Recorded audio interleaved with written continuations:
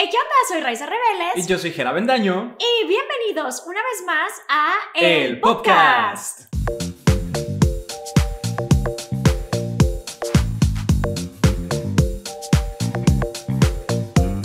Hoy tenemos una invitada especial. No me conocen, me presento, soy Renata Rebele, soy Scorpio, me gusta Taylor Swift, no sé si alguna vez han escuchado de mí. La razón por la cual Remy vino a acompañarnos, que por cierto quiero aclarar que yo todavía estoy muy enferma por si me notan no el 100.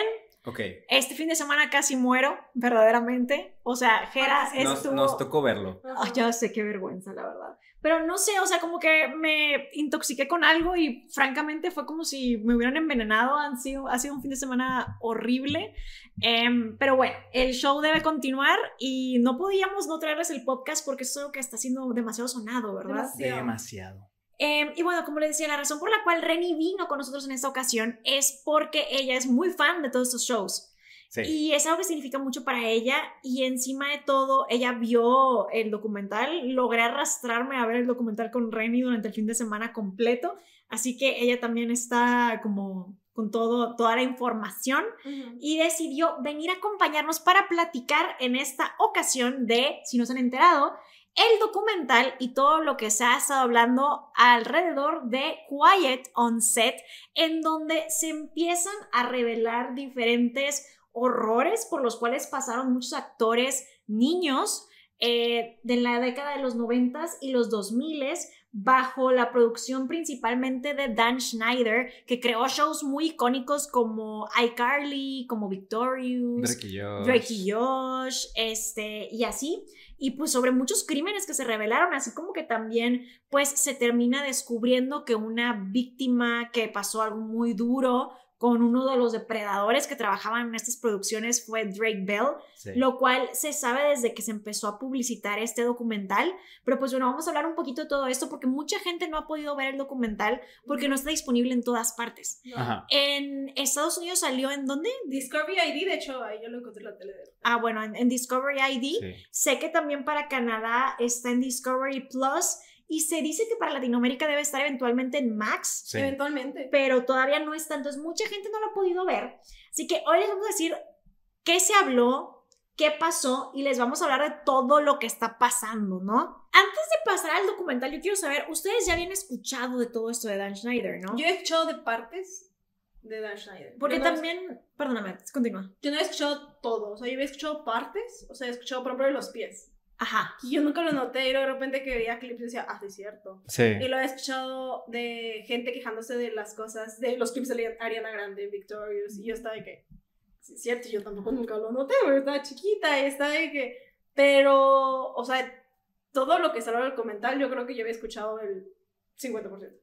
Es que, por ejemplo, aquí ya habíamos hablado del libro de Janet McCurry Sí. y ella menciona muchas cosas. Ella menciona que eh, ella lo llama The Creator, el creador, sí. ajá, en el libro, pero ella está hablando de alguien que era muy abusivo, o sea, que los trataba muy mal. Están estas cosas en YouTube que se llaman ensayos en video y la gente hace, pues, justo toda una investigación y sube todo lo que han descubierto y todas las noticias. Yo en YouTube empecé a ver que fue el primer lugar en donde estaban estos ensayos Sí. con todos los rumores que había y cosas extrañas que la gente había notado alrededor del tiempo, pero hasta este punto creo que nadie había salido a confirmar.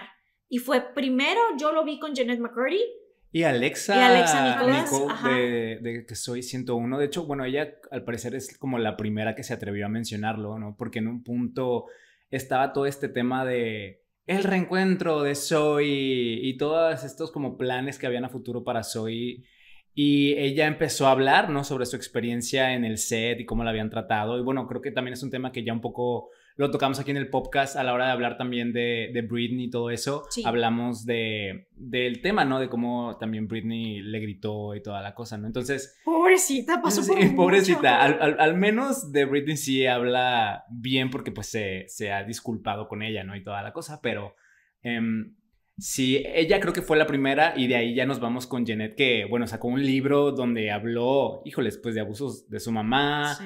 también como decimos de el creador, que pues todos sabemos que es Dan Schneider, ¿no? A pesar de que nunca dice su nombre.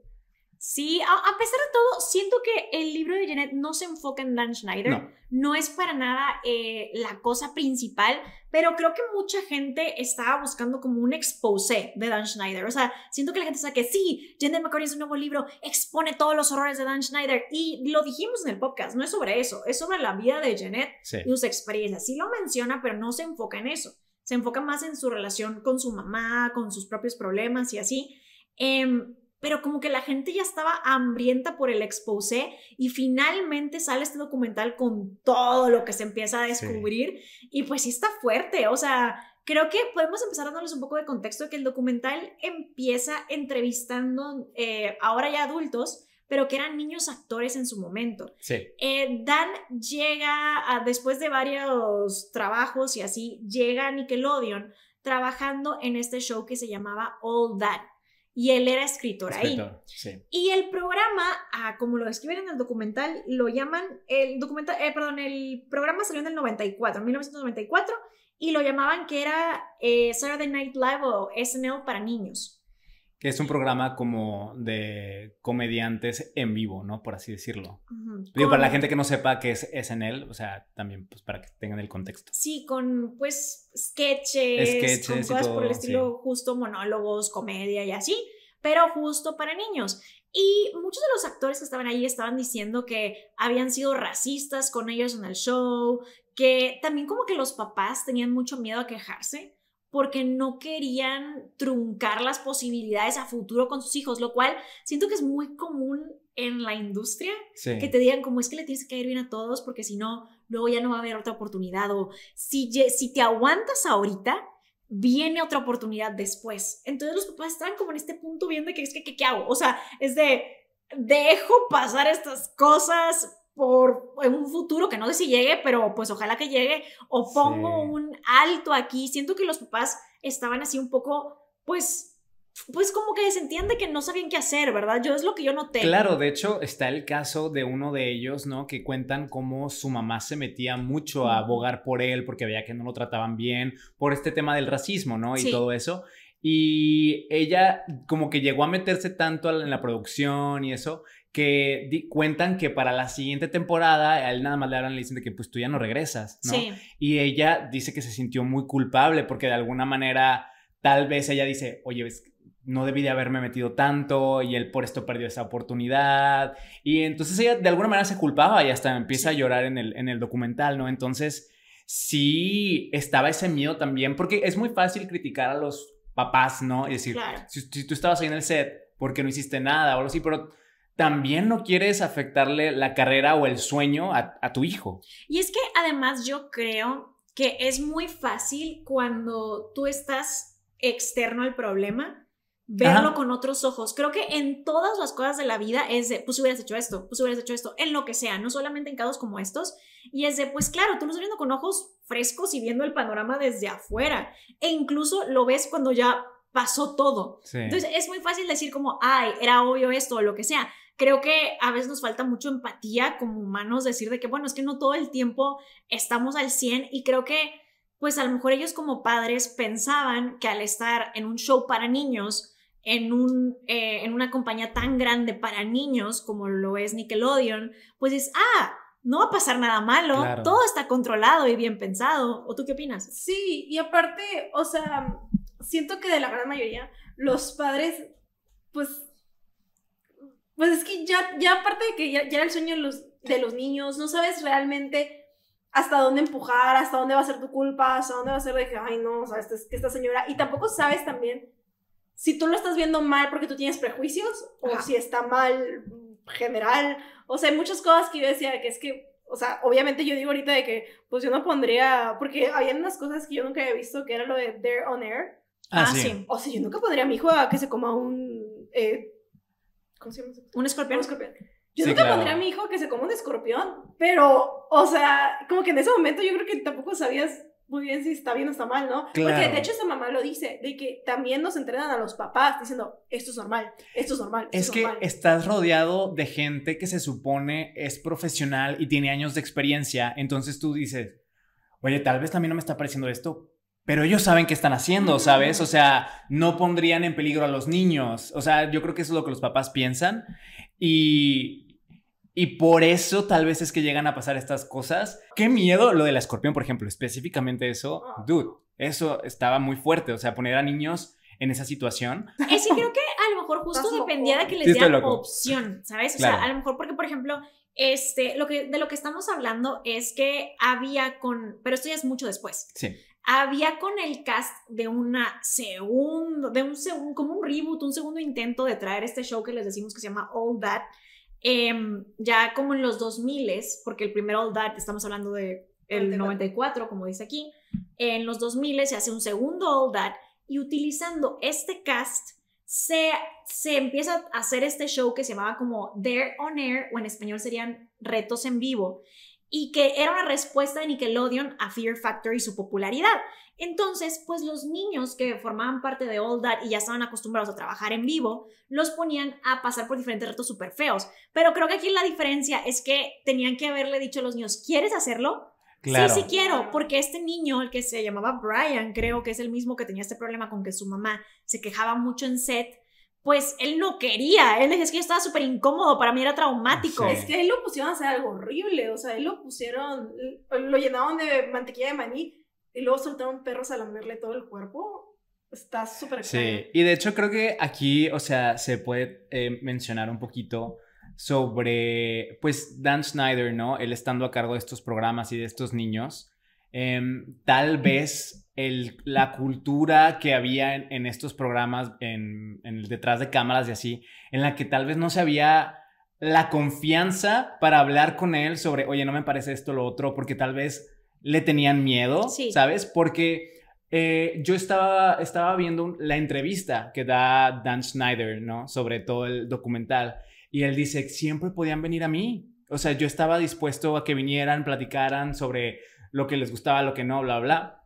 Eh, y luego veo a esta Alexa Nicholas de Soy 101 Sí, reaccionar a esos comentarios. ah, yo también la vi. ajá. Y ella dice, sí, yo fui contigo y me trataste mal, me humillaste, fuiste grosero. Entonces, realmente, estos niños tampoco se sentían con la seguridad de quejarse, oye, no quiero hacer esto, oye, no me parece esto, porque no les iba a ir bien. Y sobre todo porque ellos mencionan cómo Dan Schneider tenía a sus favoritos, ¿no? Sí. Entonces, si tú te quejas, ya no eres de los favoritos. Y si ya no eres de los favoritos, oye, te vas de esta temporada o Claro. ya no estás en otro programa, porque eso es algo que hacía mucho. Sí, claro. Usaban niños de un programa y luego los volvía protagonistas en otro, ¿no? Sí. Que personalmente a mí me gustaba mucho eso de que, por ejemplo, yo veía Drake y Josh, ¿no? Ajá, Y luego resulta que la hermanita tenía su programa. ajá. Y luego la de Zoe 101 salía ahí Victorious, ¿no? Bueno, Tori. Victoria Justice. Ah, Victoria Justice. Y luego, ah, le dan su programa. Eso era algo como que se sentía muy como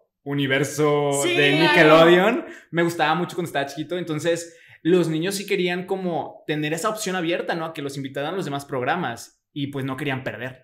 Sí, yo también creo, o sea, creo que la estrategia esa de te agarro de un show donde ya te conocen, ya te tienen cariño, te llevo a este otro, es inteligente Sí. y... Pero sí creo que justo el tema era ese, de que por no per- perder la oportunidad, pues estaban pasando por cosas que hasta la fecha se acuerdan y les traen malos recuerdos, ¿sabes? Claro. De, ay, no me gustó esto para nada.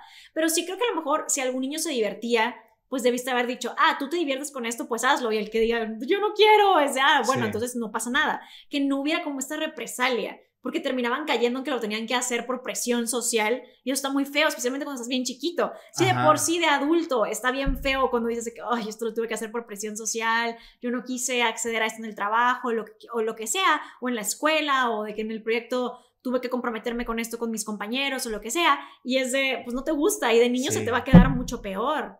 No, y aparte también considerar que para muchos niños ellos están siendo el sustento de su familia. O sea, no es el caso de todos, Claro. pero muchos de ellos sí. Por ejemplo, tenemos a Janet McCurdy, ¿no? Que ha hablado sobre este tema. Y muchos de ellos, oye, necesitamos este dinero para poder pagar la renta. Sí. Entonces, con más razón, cedes ante estas cosas y pues está mal. Y aparte también que no, los niños no eran los únicos que iban, o sea, que eran tratados mal ahí. Porque también los adultos Ay, eran no, tratados mal y creo que podemos tocar ese tema. Sí, de hecho, justo quería como regresarme un poquito a hablar de esos primeros años en lo de mm, pues lo que viene siendo All, All That. That. de los noventas.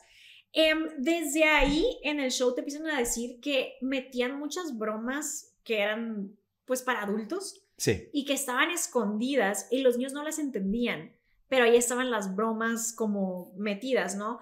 En una de esas, por ejemplo, hablan de un niño que lo ponían, que le llamaban Noseboy y que le ponían una nariz gigante, pero también narices como en los hombros y que tenían una forma extraña y luego Sí. como lo que él terminaba haciendo era que estornudaba y le saltaba en la cara a la gente y te dicen que era como una broma pues de doble sentido De que estaba como sí. ajá, o sea, se justo cuenta ahí. que lo que te mencionan es que su, era como un superhéroe, ¿no? Entonces el traje de superhéroe tenía como estas tipo narices en los extremos, pero parecían más un órgano masculino. Ajá. Eh, y entonces lo que él hacía era aventar como este tipo de moco Sí, una cosa viscosidad. ajá. viscoso, ajá, y le cae a esta niña en la cara, por, eh, pues sí, de ser una niña. Eh, y eso lo tiende a hacer mucho. Sí. O sea, no es la primera vez que lo... des- después de que lo hace en All That, lo sigue haciendo yo creo que en todos sus programas. Sí. Y es un poco sucio, cochino, porque un niño, como tú dices, oye, no lo ves sucio ni nada, no, no te pasa por la mente, no sabes. Pero ¿Ese contenido para quién es? esto es lo que yo digo. Ok, tú dices, sí, los niños se reían, pero ¿por qué estás haciendo que los niños hagan eso? Sí, ¿Quién quieres curioso. que vea eso? ¿Adultos? Sí, ajá, siento que está raro. Y bueno, de ahí empiezan a hablar justo lo del favoritismo. Y había esta chica que se llamaba Katrina Johnson, Sí. que estaba en el set de All That. Ella dice que pasó por una etapa como muy incómoda porque primero la estaban criticando los productores que porque estaba subiendo de peso. Y luego poco después de esto, ella pasa por la pubertad, entonces ahora pues ya tiene un cuerpo más maduro y de ahí dice como no, ya me están empezando a sacar, como que ya no, ya no me presenta tanta, tanta atención y como que su tiempo con Dan Schneider se iba reduciendo porque al principio era como la favorita. En una de esas, ella va a este como, como un club de comedia Sí. que se llama The Laugh Factory. Así se llama, está en Los Ángeles. Y ella se iba a presentar, me imagino, porque lo que te dicen es que estaban ahí para apoyarla Dan Schneider y algunos productores de Nickelodeon. Y en eso sale Amanda Bynes y estaba presentando una rutina. Dicen como, wow, es súper carismática. Y de hecho, lo pasan en el documental. Yo dije, wow, tendría como 10 años. Y era súper extrovertida. Sí. Verdaderamente sí se desenvolvía muy bien. Entonces, sí estaba hecha pues para eso, ¿no? O sea, como para presentarse. Y dicen, no, pues de aquí. Contratan a Amanda y la meten al show de All That. Y dice Katrina que de ahí, poco a poco, ya la que siempre estaba con Dan Schneider era Amanda Bynes. Y ella dice como, no, pues ya me voy de aquí y me voy a la universidad. Y para esto, a la Katrina ya le habían avisado que le iban a dar su propio show, que se iba a llamar Katrina Johnson Show. Y cuando ya está en la universidad, le marcan y le dicen de que ya viste a quién le dieron el, su propio show y de que de qué hablas. Pues ya salió The Amanda Bynes Show. Y ella de... The Amanda Show. Ah, The Amanda Sí. Show. The, The Amanda Show, perdón. Entonces ella de que, ah, no, pues sí, la nueva favorita llegó. Claro. Y de ahí, pues justo, dicen que la que más está con Dan Schneider es Amanda Bynes, que creo que es la persona que más podría hablar de eso, Sí. porque además a ella le daba mucho poder de decisión, porque de hecho, no sé si se fijaron en el documental, que cuando llegan a la parte de Drake, a Drake le dan el trabajo en The Amanda Show porque a Amanda le cayó bien. Sí, es cierto. sí. Ajá, entonces como que a ella le daban mucho poder de decisión, así que creo que pues ella tendría mucho que decir. Desafortunadamente Amanda no parece estar en la situación, en la condición mental ahorita correcta para Yo hablar me de salió eso. una quote que dijo que no quería hablar de nada de lo del documental, pero que estaba agradecida porque mm, haber estado ahí fue lo que le dio su carrera. Ah, fue lo único que dijo. Ok, muy interesante. Y así. Ok, entonces ella dice que está agradecida con la, por la oportunidad. o Porque de ahí salió como su carrera, ¿verdad? Pero, Pero ahí también se terminó su carrera. bueno, No, pero eso pero ya fue ahí. ya no, no se fue terminó ahí, más pero, adulta. O sea, ya más adulta, pues. ¿Por qué? Es le que- pasó todo lo que le pasó? Es que empezó a tener problemas y eso se menciona, ¿no? En el, en el documental, como que ella ya quería sentirse tal vez más adulta, ¿no? Entonces a los 16, 17 años es cuando ella planea emanciparse, que dicen que esto era algo muy común en ese entonces que hicieran como los actores que estaban ya tal vez cerca de la mayoría de edad, pero que todavía eran menores y ya no querían vivir con sus papás, tener todas estas reglas, entonces ella quería... Y de ahí yo creo que empieza a salir como esta rebeldía de ella y tal vez como que no supo manejar bien su carrera, tal vez no tenía a la gente correcta al lado de ella. Sí. Porque de hecho, pues sí mencionan, ¿no? Que Dan Schneider la, la ayuda y todo su equipo, de hecho, la ayudó como a tratar de emanciparse. Lo único es que no pasó eh, la corte, o sea, dijo sí, no. ajá, dijeron no. Y entonces por eso no pudo. Pero sí, como que tal Y vez... hasta entró en una tutela como. Sí, Sí. pero eso fue un poco después. O sea, son como tiempos diferentes. Igual, bueno, en el The Amanda Show, antes de irnos un poquito más a Amanda Vines, ahí es cuando Dan Schneider por primera vez sale como ya de que el creador Claro. eh, ya tiene como este, esta, no sé, este gran poder que antes no tenía, ya de cierta manera entra a otra liga. Y es cuando entran estas dos escritoras que trabajaban ahí, que eran las únicas escritoras mujeres, y ellas inician en el documental diciendo de que trabajar para Dan Schneider era como estar en una relación abusiva. Sí. Para empezar, las contratan porque ellas eran nuevas escritoras.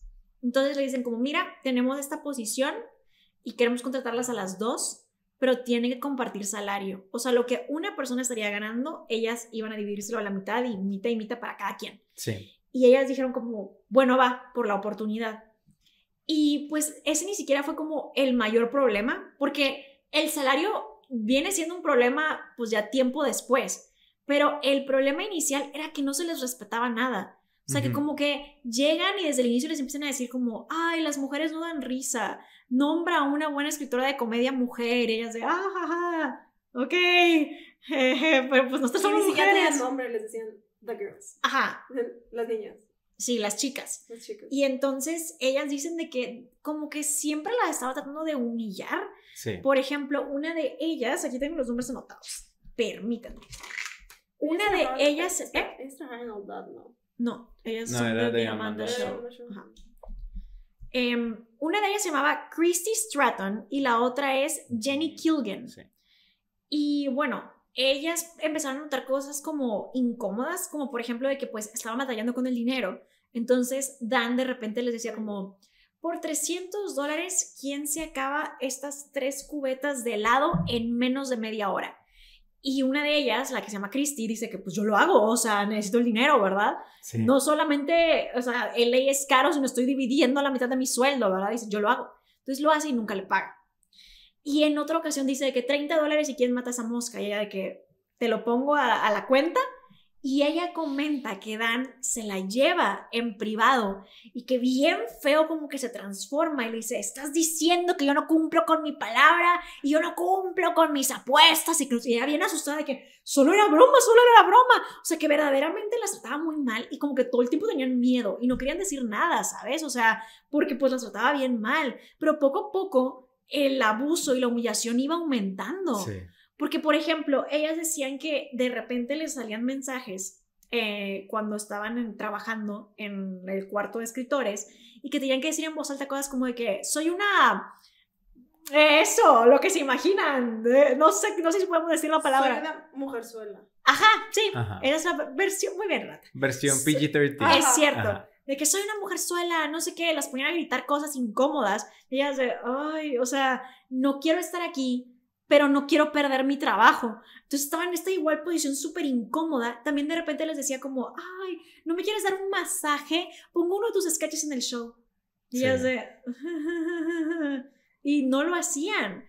Pero al final del día siempre encontraba a alguien y siempre una mujer que le estuviera dando masajes en el show. Eso lo mencionan todos en todos los programas. Yo creo que eso venía de parte de que Dan Schneider, y pues a lo largo del documental nos damos cuenta, le gustaba humillar. Y le gustaba humillar sobre todo a las mujeres. Como que ese era, o sea, yo creo que ese era como el kick que tenía. O sea, como que la diversión que tenía Dan Schneider era humillar mujeres. Sí.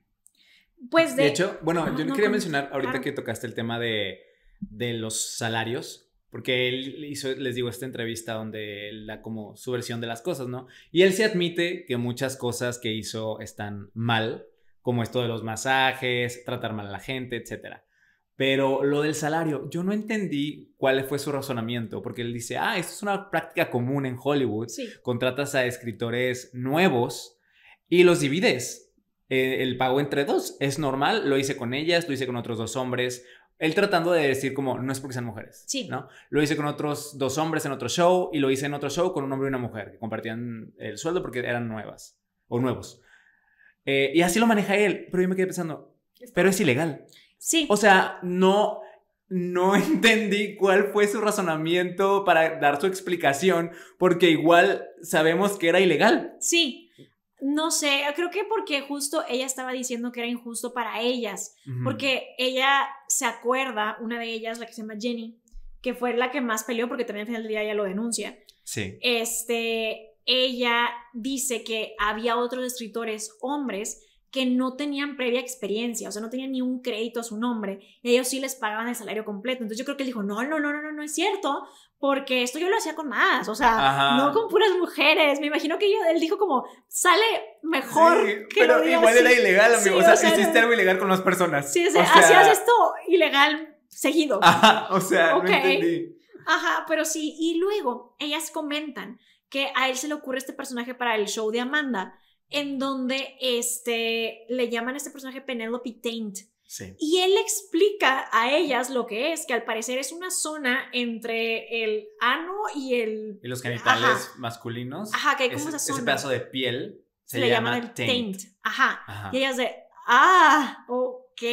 Y que de hecho un ejecutivo de Nickelodeon va y le dice de que, esto es por esto. No, ¿cómo crees? Es taint en inglés la palabra taint o tainted. También puede ser como manchado, sucio y así. Sí. Y él dijo, es por esto, o sea, es de, de sucio, de manchado, como que manchaste algo. Y ellos de, ah, ok, y lo dejaron ahí. Y pues las escritoras dicen, eso es tener mucho poder, porque si el ejecutivo ya estaba diciendo, esto me suena raro, él tenía el poder de decirte, cámbialo, está raro. Y no lo hicieron porque él dijo, como, ¿cómo crees? Claro que no. Y fue de, bueno, que Dan haga lo que quiera, está bien.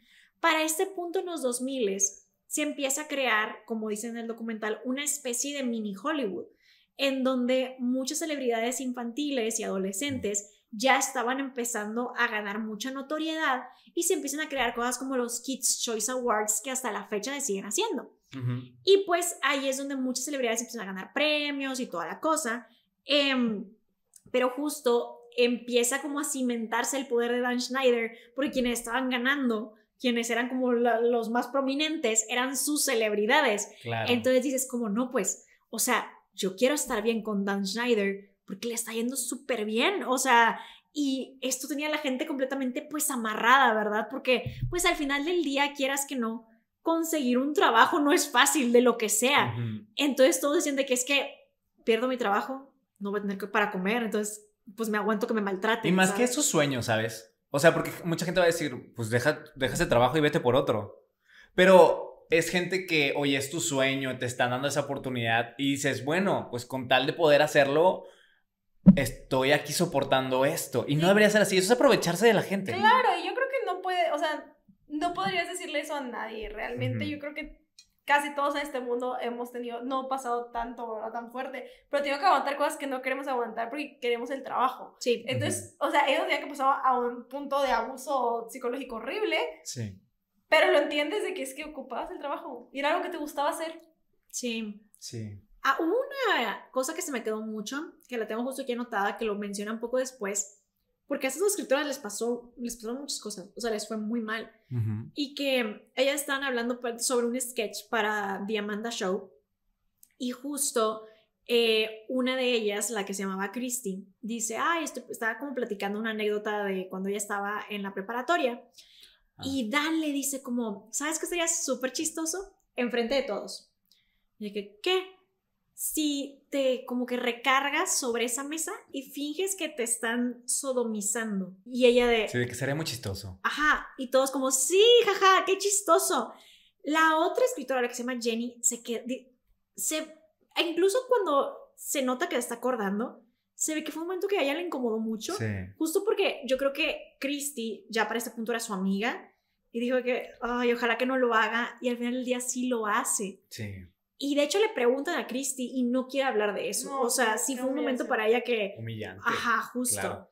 pero habla también mucho del poder que él tenía sobre la gente y sobre cómo, pues prácticamente sabías que no podías decir que no, ¿sabes? O sea, entonces qué duro que te hayan visto todos en el trabajo así que ahora tengas que cargar con esto, ¿sabes?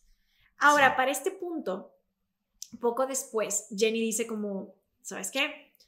Ve una noticia, según no, si, si, no mal recuerdo, el documental lo dice, sobre que el, el sindicato de actores, perdón, de escritores, dice que no pueden hacer eso de lo de que contratas a uno por el precio de, digo, a dos por el precio de uno.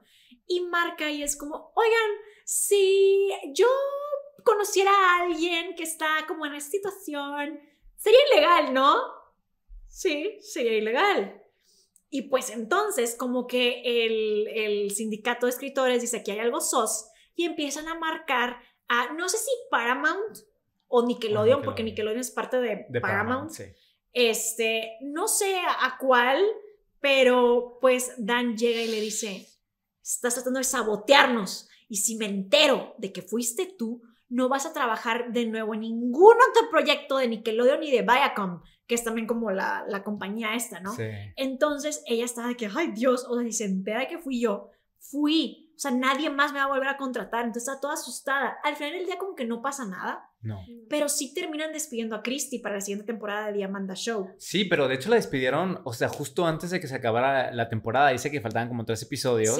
Y que les exigían mucho como no tienes vida, ¿no? O sea, te quedas a trabajar todo el tiempo.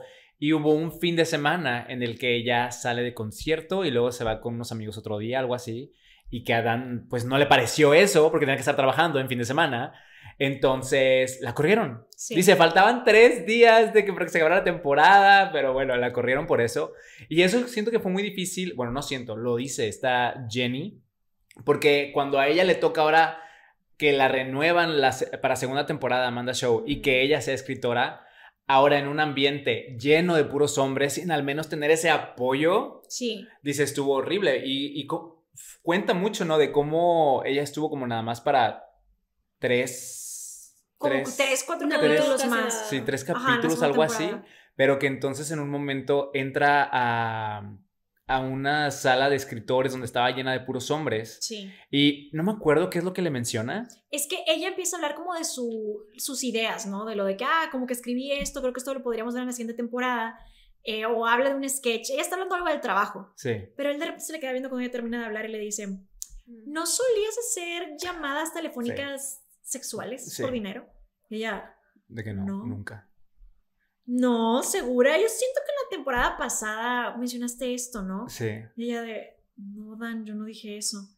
Y de ahí salió y dijo, ya, no puedo seguir aquí. O sea, qué horror, me van a comer viva, dude. O sea, antes mínimo tenía su otra amiga que la acompañara y aquí es de, ¿cómo voy a tener que reportar esto sola todo el tiempo? Y como que ya le estaban pagando menos. Ah, claro, sí. o sea, vas a tener que trabajar 27 semanas, pero te vamos a pagar 16 semanas. Ah, sí, que iba a tener que eh, trabajar 11 semanas gratis, sin pago. Sí, sí no, o sea, horrible.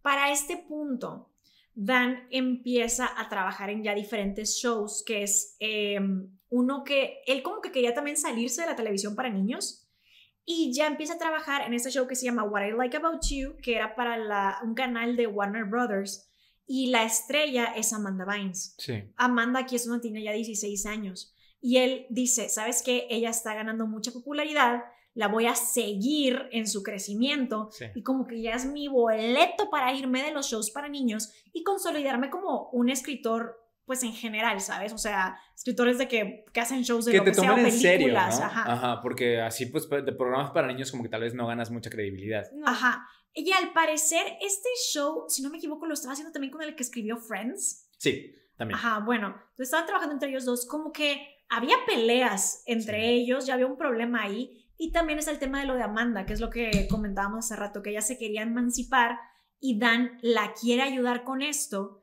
Y pues los papás lo ven súper inapropiado, no pasan la corte y dicen ya no te puedes acercar a Amanda. Entonces el dude pierde su boleto de salida porque pues sí, estaba mal que él estuviera como que metiéndose en toda la vida de Amanda. Yo vi también la entrevista de él en YouTube y él dice como, no, es que es muy sencillo. O sea, él lo puso como, no pasa nada. O sea, ella tenía problemas con sus papás, ella tenía entre 16 y 17, ella se quería emancipar, me tenía confianza, entonces le habló a todo su equipo, me incluía a mí en su equipo y yo, O sea, es que él no es su equipo, ¿sabes? Sí, él no. no. era ni su manager, ni su asistente, agente, ajá. Pero. Dan Schneider en su mente él era un dios. Sí, O sea, él legit era un dios en su mente. O sea, él- hasta las cosas que él escribía para sus propios shows, se hablaba a sí mismo como ser un dios. Entonces, Sí. él no solo era el creador, era el director, era- o sea, aunque no era el director tal cual, pero era el director, tenía el poder sobre el director, era el productor, era el manager de los niños, era todo. Era escritor. Yo siento que aparte él sentía como como que de alguna manera él hizo a Amanda Bynes, como que él la descubrió. Entonces como que no la quería dejar ir por nada, pero hubo un punto donde ya, amigo, la tenías que dejar ir. O Sí. sea, ella ya iba a seguir su camino y afortunadamente no pasó lo de la eman- emancipación, porque si no, él hubiera seguido ahí, ¿verdad? En su Sí, carrera. Ajá, sí, totalmente. O sea, justo aquí la, la autoridad le pone un alto. Sí. Entonces él tiene que regresarse a Nickelodeon. De What I Like About You sale prácticamente corrido porque ya tenía problemas con su coescritor. Sí. Y luego tiene todo este problema con los papás de Amanda y la autoridad y es de, pues bye. Entonces se queda su nombre en el show, pero él ya no está participando. Ajá. Él lo niega. Él dice, no, eso no pasó, eso no es cierto, yo me tenía que concentrar en mis siguientes proyectos. Ahí es cuando regresa a trabajar en el All That versión Nueva. 2, Ujú. donde salía Jamie Lynn Spears. Sí. Ya veo que de ahí sale para Soy De ahí salió, 101. ajá, De ahí salió y de hecho Britney algunas veces, bueno, no sé si tal vez fue una o más, pero al menos sé que una vez fue a cantar a ese programa. y así. Ah, ok, o sea, para apoyar a la hermana. Porque no salió en All That de antes, ¿no? No. No, De aquí, de este show, salen de las cosas más fuertes. no. Sí. Eh, pero el primero, antes de pasarnos a eh, uno de los más famosos, uno de los trabajadores de ahí ya termina siendo arrestado sí. por abuso infantil. Este es Jason Michael Handy. En ese momento de 28 años. Esto estamos hablando que eran como el 2000. Sí. Y pues él trabajaba como asistente de producción. O sea, él hacía todo con los niños. O sea, Sí. él recibía a los papás, recibía a los niños, él estaba todo el tiempo como cuidando que esté bien como la producción alrededor de los niños, era, ese era su trabajo. Sí, exactamente. Y de hecho, uno de los que ahora ya es adulto, pero en ese tiempo era un niño actor, dice que él prácticamente te agarraba de la manita y te alejaba de tus papás. Era como, ah, ya llegaste a trabajar, bueno, vente conmigo. Entonces, qué terror, ¿verdad? Que de este hombre se descubre lo siguiente. Esto es lo que está en el reporte de policía. Se le encontraron 10.000 imágenes de niños. Sí. 1.768 imágenes de niñas en posiciones eróticas, 238 imágenes de niñas en posiciones explícitas y dos imágenes de niñas en actividad de, pues, estar amarradas y así. Entonces, o sea, no solo eso. Se descubre también de la policía que él tenía, por, perdón, se descubre por la policía que él tenía en su posesión en su casa bolsas con los nombres de sus víctimas y tenía como pues recuerdos, ajá, de estas víctimas. Uno de ellos era ropa interior de una niña de 7 años Sí. y un bonche de cartas que estaba intercambiando con una niña que se llamaba Brandy, que también participaba en el show. Ahí es cuando le marcan a la mamá y le dicen como, oye, topas a este hombre. Y de que, sí, porque para esto, la mamá ya un día había descubierto que su hija estaba como muy enojada y se encierra en su cuarto y toda la cosa. Y de que, ¿qué pasó? Y la niña le enseña que le manda un correo este hombre a ella que tenía que 8, 9 años, 10 Nueve años, años, tenía 9 años. Y él, recuerden, 28 años, le manda una imagen de él tocándose a sí mismo, diciéndole que estaba pensando en ella. Pero la mamá decide no hacer nada al respecto. Y entonces, cuando la policía regresa y encuentra las cartas y todo, ella dice como, sí, sí me suena. Lo que sí hizo fue quitarla del programa. ¿no? Es cierto, O sea, ella ya cierto. saca a su hija del programa y dice, bye. Ajá, O pero sea, no lo acusó. dijo, no lo acusó ni nada, pero sí, al menos ya no, su hija ya no estaba en contacto con él. Pero luego ya se descubre que otras víctimas de él, o sea, bueno, que él tuvo otras víctimas. Sí, ajá, porque él también tenía un diario. Que él mismo decía que era un abusador de menores. Ajá, o sea, yo me quedé, ¿cómo? O sea, para mí, que es lo que yo le explicaba a Reni, yo pensaría que es naturaleza humana, que si dices, tengo estos impulsos que son malignos, no voy a actuar Claro, sobre estos impulsos claro, claro. malignos. No, pero aquí el dude, o sea, lo que está escrito en su diario de que sí, soy un completo abusador de menores, ajá, o sea, la palabra. soy un completo abusador de menores, me encanta, todo el tiempo estoy batallando para que si en algún Controlarse. punto eh, tengo que encontrar a alguien, Una o sea, como que, víctima. ajá, justo, que estaba dispuesto a que si en algún momento lo necesitaba, iba a encontrar una víctima para abusar de ella. O sea, escrito así, y la palabra, o sea, no tom- tomen en cuenta que no, abusar de ella no es lo que estaba escrito, estaba escrito de que ya saben qué palabra con V en español. O sea, es de yo, ¿cómo? O sea, ¿cómo tú, tú escribes todo eso y no dices, hay un problema conmigo? O sea, es de cómo, o sea, ¿cómo? ¿Cómo? O sea, yo me quedé como, ¿qué? Y pues justo Rani me decía que estas personas no piensan que están haciendo algo malo. Pero para mí es de que... ¿Tú crees que no lo piense? O sea, si él mismo sabe el término de lo que él es y tú, todos sabemos, bueno, es que la cosa es que tal vez él no piensa que hacer eso está mal. Exacto, o Es sea, que él no piensa que es algo no malo. sabe O sea, sí saben, pero no, les... O sea, como que sus, sus cerebros, o sea, obviamente para ser ese tipo de personas, para ser ese tipo de persona, para ser un asesino, para ser, bueno, para ser un matón, no sé, pero para hacer todas esas cosas, hay algo en tu mente que no está conectado. Algo no está funcionando bien, sí, no claramente. está conectando y no conecta las cosas bien y no sabe, o sea, porque hasta para col- recolectar premios es que era como una cosita de, ay, lo logré. Ay, no, qué asco. Es que, o sea, eso me dejó desde ahí. Cuando, no. o sea, porque para este punto estaba que qué mal. Pero luego veo eso y yo digo, Ah, sí, o no. sea, como- no sé, como que algo se me Sí, revolvió en el estómago. horrible. Fue de, ¿cómo? O sea, y este dude tenía acceso a los Y niños. más porque todos los actores que están en el documental te cuentan que él era una figura amistosa, Ajá. amigable para ellos. O sea, todos confiaban en él. Sí, Todos confiaban en él y la mamá de hecho te menciona, ¿no? Que Brandy empieza a tener como este intercambio de correos y él siempre muy amigable, muy profesional de alguna manera, ¿no? O sea, realmente dices, oye, no sabemos nada de nadie. Porque No. todo mundo y hasta esta se y llamaba... hablaba de Dios, el dude, o sea, como que Dios te cuide y estaba como en los momentos eh, de estudio bíblico, que creo que es una práctica cristiana, como que está en estudio de la Biblia, y él ahí iba con los niños.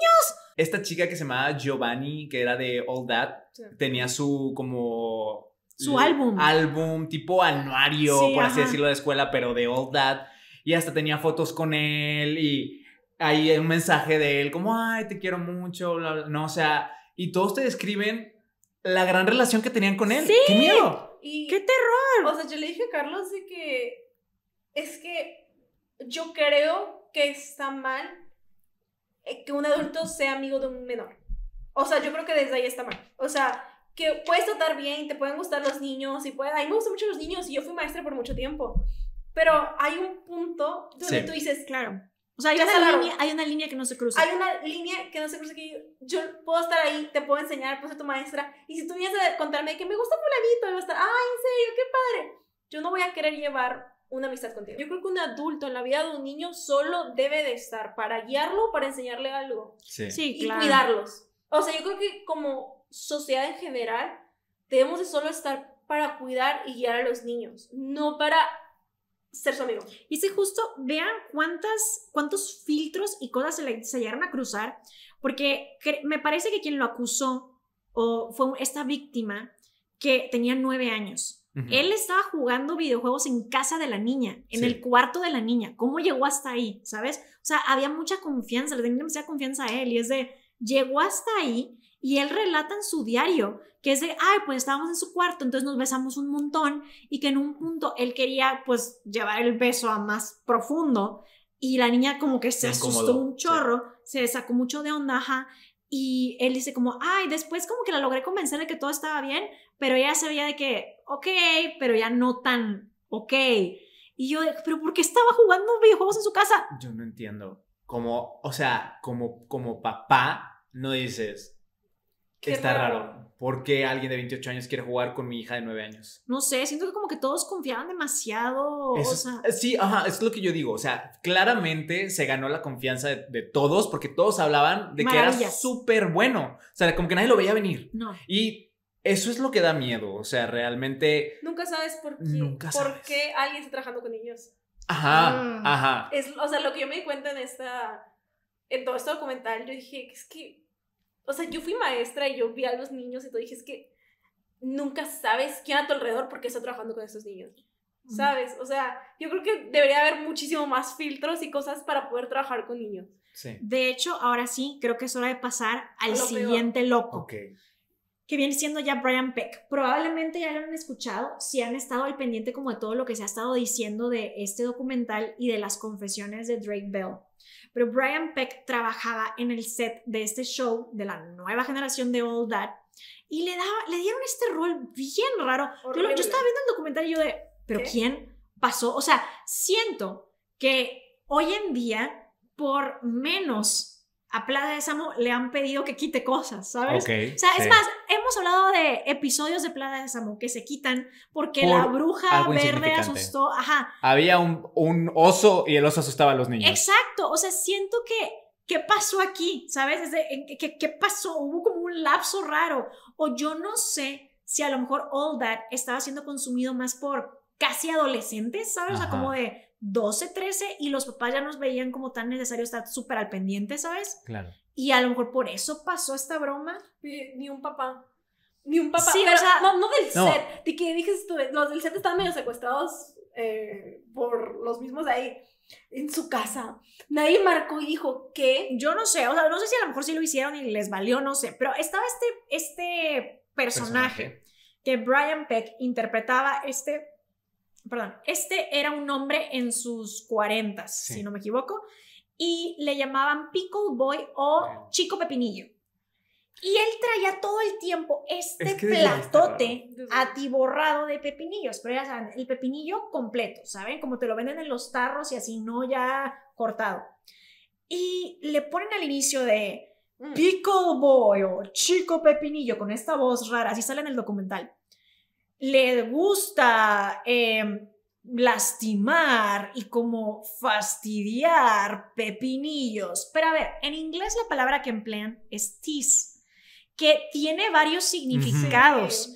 Entre ellos es como, es que sí, es como Juguetear. como, o sea, sí también hay una implicación aquí sexual rara. Entonces es de, ah, chirrión, ¿por qué pusieron? Yo, desde que salió eso en el documental, yo dije, y nadie dijo nada. Ah, como yo entendí, en cada episodio, porque me puse a investigar en TikTok, le cambiaban la leyenda esta, ¿sabes? De lo Ah, de el lastimar y juguetear, lo cambiaban por otras cosas, pero ¿por qué en algún punto pondrías eso? Sí. Y hay un episodio que pasa en el documental en donde como que él está caminando y hay una persona diciendo que tengo hambre, alguien ayúdeme, y está como del otro lado de una puerta. Era un adulto, Sí. por un suerte, pero pues. Y Y, según él se encargaba de los invitados. Ah, ok, bueno, ya con razón. Con razón. Geras rato estaba mencionando que Britney estaba justo al lado de él en un episodio, Ah, sí. ajá. Muy probablemente se encargaba de los invitados. Y él está, este estaba este actor, supongo, entonces no lo reconocí, que decía como, tengo un montón de hambre, alguien ayúdeme. Y él, bien raro, escuchen lo que les voy a decir, porque les va a parecer raro. Y si ya lo vieron, ya saben de qué estoy hablando y seguro les pareció raro. Claro. Estoy pensando en eso desde que dijiste Es que Boy. ese qué, o sea, está la puerta. La puerta no tiene perilla. Está este agujero en la puerta donde estaba la perilla y este hombre mete el pepinillo por ese agujero. Y el otro nada más como que agarra el pepinillo y luego lo empieza a agarrar y lo empieza a morder así como, ¡oh! Yo de, Sí, hasta, hasta la manera en la que lo comiera. Mm, lo agarra con las dos mm. manos aparte. Sí, yo de qué, sé ¿qué estoy viendo? O sea, claramente, o sea, y es lo que repetimos desde el inicio. Un niño o tal vez alguien muy jovencito no va a captar nada raro. Ajá. Pero yo como adulto apenas Es vi la escena sin saber a qué íbamos a llegar porque la pasan muy al principio del documental, creo, sin el contexto Sí. y luego ya te explican qué onda. Y yo me acuerdo que dije, eso, fue, eso era un glory hole. Ajá, raro, o sea, de qué. Ese era un glory hole, era lo que querían decir. O sea, y por eso yo me quedo pensando, o sea, el problema es como que poner a niños en estos programas donde un adulto puede verlo Sí. y puede interpretar a qué se refieren realmente, ¿sabes? Claro. Eso está enfermo. Sí, y de hecho, una de las, de, la- de las como actrices de ese momento, que ahora es adulta, pero era niña, Ujú. ella te dice, o sea, de manera muy natural de que, pues, o sea, nosotros no entendíamos, era como de, ah, pues ahí está, ok, pues bueno, pero hay un actor que me, o sea, hasta yo estaba de que siento que es como, él, él ha de haber estado bien Él frustrado. contra el mundo. Ajá, porque se llamaba Kyle, Kyle Sullivan, hasta me acuerdo de su nombre, de tantas veces que dije es que él, él como que siempre sabía. Y como que era un niño que era muy perspicaz, ¿sabes? Y hasta él dice, es que yo decía como, ¿cuál, cuál es el chiste aquí? O sea, ¿por, por qué? ¿por qué esto es un chiste? Pero como que nadie lo escuchaba. Y él, Sí. de hecho, más adelante se da cuenta de algo raro, que es que van a la casa de Brian Peck porque todos amaban a Brian Peck. O sea, todos eran como que mi amigo el Brian Peck, bien Es que amable. también ese es eh, como algo muy que se repite, ¿no? En gente que es abusadora y así. O sea, saben ganarse a la gente. Sí, ¿qué y siempre son súper carismáticos. Ajá. Siempre son de que, ay, pero era bien amable. Y era bien... Ajá, y así es como todos terminan en la casa de él para una comida de Una verano. fiesta. Para mí eso fue lo peor. Ajá, entonces, pues van los niños Yo no entendí. y dice el Kyle de que la casa de él estaba decorada de una manera como muy excéntrica, ¿no? Es su garage lo había transformado como en algo que era de eh, el planeta, de, los simios. Pero que a Kyle le llama la atención una pintura de un payaso y dice, para mí resaltó, porque esto no tenía nada que ver con el planeta de los simios. Así que él se acerca y dice, Brian, ¿qué es esta pintura? Y dice que el Brian, emocionado, dice, déjame te enseño. Y voltea la pintura y dice lo siguiente, porque tengo la cita. El Kyle se le quedó mucho porque Sí. recordaba lo que decía. Dice, para Brian, espero que te guste la pintura. Mis mejores deseos, tu amigo John Wayne Gacy. Y a ver, Kyle Sullivan tenía aquí que 13 años. Sí, como 13 ajá. años. Ajá, y él dice, ah, ah, sos, red flag. Y él ah, dice, claro, raro. Ajá, él dijo como, yo no sé mucho de este hombre, pero yo sé que, que John Wayne Gacy es un asesino serial. Sí. Así que va y le habla a todos y dicen, Le habla a todos. Es de que le habla a los adultos. Pero hasta los adultos ven la pintura. ajá, y nadie dijo, red flag, ¿sabes? o sea, ¿qué onda? Estaba un niño diciéndoles, oigan, aquí hay algo raro y todos los demás, ay, quién sabe, la verdad. Alguien, o sea, es que, ¿cómo alguien que trabaja con niños tiene una pintura y es amigo de John Wayne Gacy? No. Alguien que abusó de niños y los mató de maneras horribles. Y es que además, eso no es todo. El Kyle comenta que a él le mostró que tenía un montón de cartas Mm, sí. guardadas porque se volvió su- el amigo de John Wayne Gacy por correspondencia, este Brian Peck, y las tenía guardadas de que junto a su cama y les enseñaba como que qué padre. Emocionado. Em- Ajá. ¿Qué?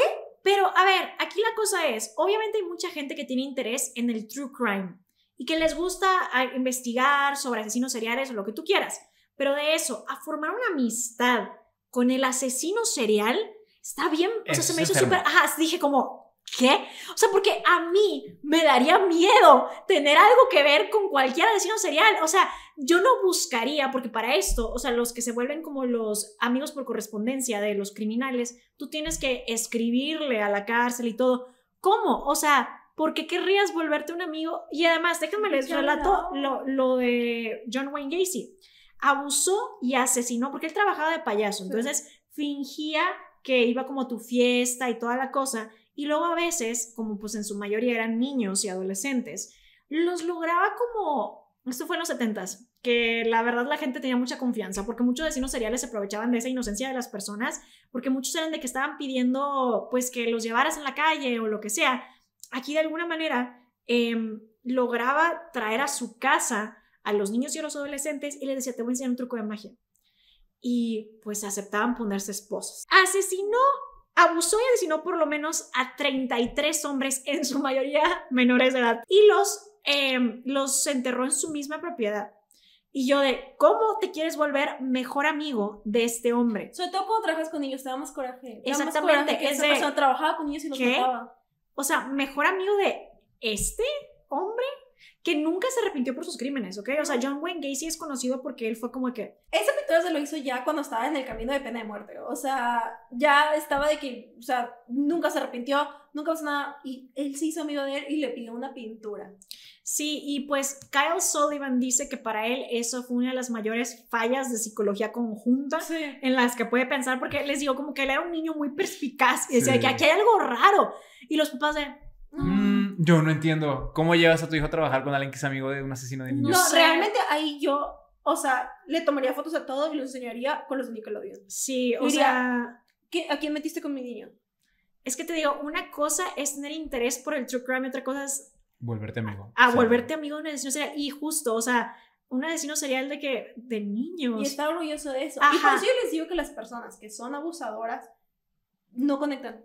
No conectan. O sea, obviamente él no está conectando que esa persona mató niños. Y está mal. Y tú trabajas con niños. Sí, o sea, y pues bueno, ahora, poco después de este suceso, en el 2003, llega, o sea, porque ellos primero lo cuentan desde la perspectiva del cast de All That, porque es quienes te están contando como esta historia, ¿no? Y de la nada, pues ellos están como en un día y se siente el ambiente tenso en el show de hoy que está pasando.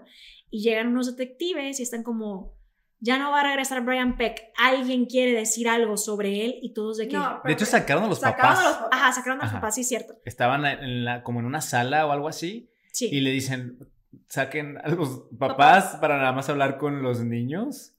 Y luego es cuando les preguntan eso. Sí, es cierto. Y justo ellos están de como, ¿cómo? Y todos de, alguien va a confesar que a- les hizo algo Brian Peck. Y de hecho, todos pensaban que no había ocurrido con alguien que trabajaba ahí, porque el director, que también había sido despedido ya para este punto, de All That, que quedó muy enemistado con Dan Schneider, dice, le dicen, sí, pues es que él abusó de alguien. Y él, pero no fue alguien de nuestros shows, ¿verdad? Sí, sí fue. Y él, ¿cómo? O sea, como que nadie Nadie esperaba sabía, nadie lo sabía. ni se esperaba que fuera del mismo show. Em, para esto, hay algo muy interesante. Quiero decirles que originalmente, antes de que se descubrieran todos estos crímenes de John Wayne Gacy, ya había sido arrestado por sodomizar a un niño adolescente. Sin embargo, solo sirvió 18 meses, lo cual me parece un paralelo muy interesante con lo que termina ocurriendo con Brian Peck, su gran admirador. Ustedes tienen anotado, por ejemplo, me acuerdo que con el Jason Michael Handy, que es el que, bueno, eh, abusó de esta Brandy y de más niñas, ¿no?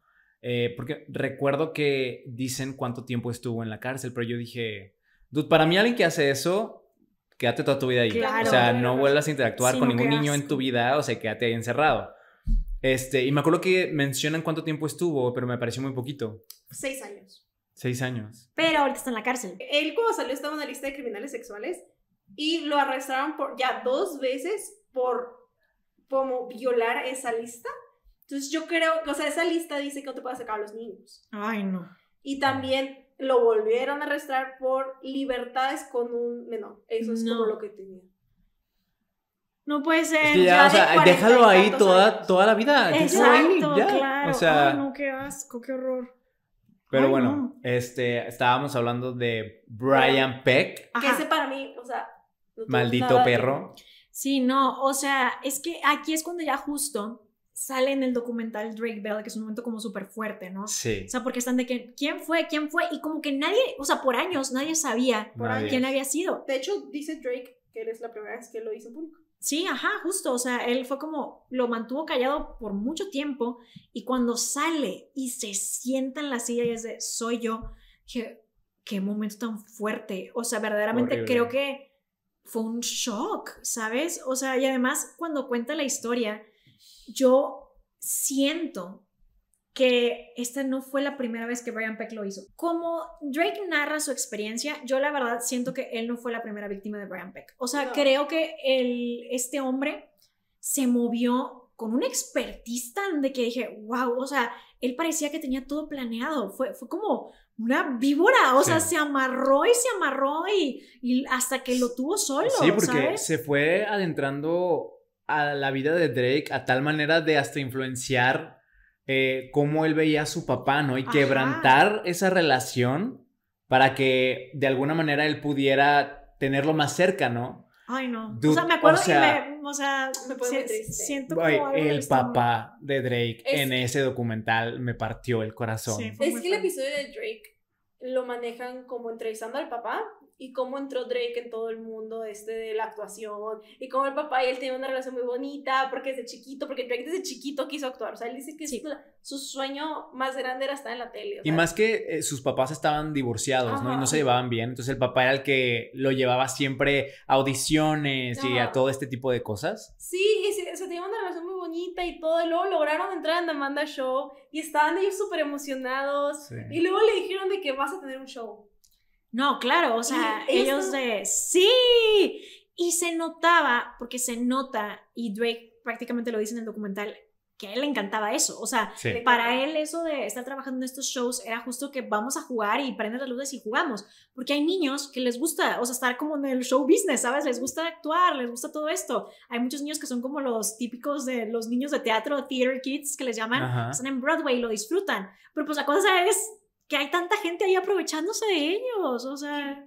O sea, como Drake estaba en el set de, de Amanda Show, Ajá. ahí estaba Brian Peck, pues como que se empezó a volver como muy amiguito, porque él era el que, eran los diálogos. Sí, era el coach de diálogo, Era el coach te de ayudaba a actuar y cómo decir tus líneas. Ajá. Y el papá, o sea, el papá fue el primero que lo vio. O sea, el papá lo vio en tres segundos. Fue que no. Sí, porque justo él decía, a mí se me hacía muy raro que él siempre estaba toque y toque a Drake y lo tocaba de más. Y él decía, no, aquí hay algo raro. En una de esas, él ve un video que lo ponen ahí en el documental, en donde Brian Peck, porque para esto le dicen, no, pero él ha trabajado con Leonardo DiCaprio y grandes celebridades y no sé qué. Ve el video. Y si ustedes ven el video, este, está ahí en lo de Quiet on Set.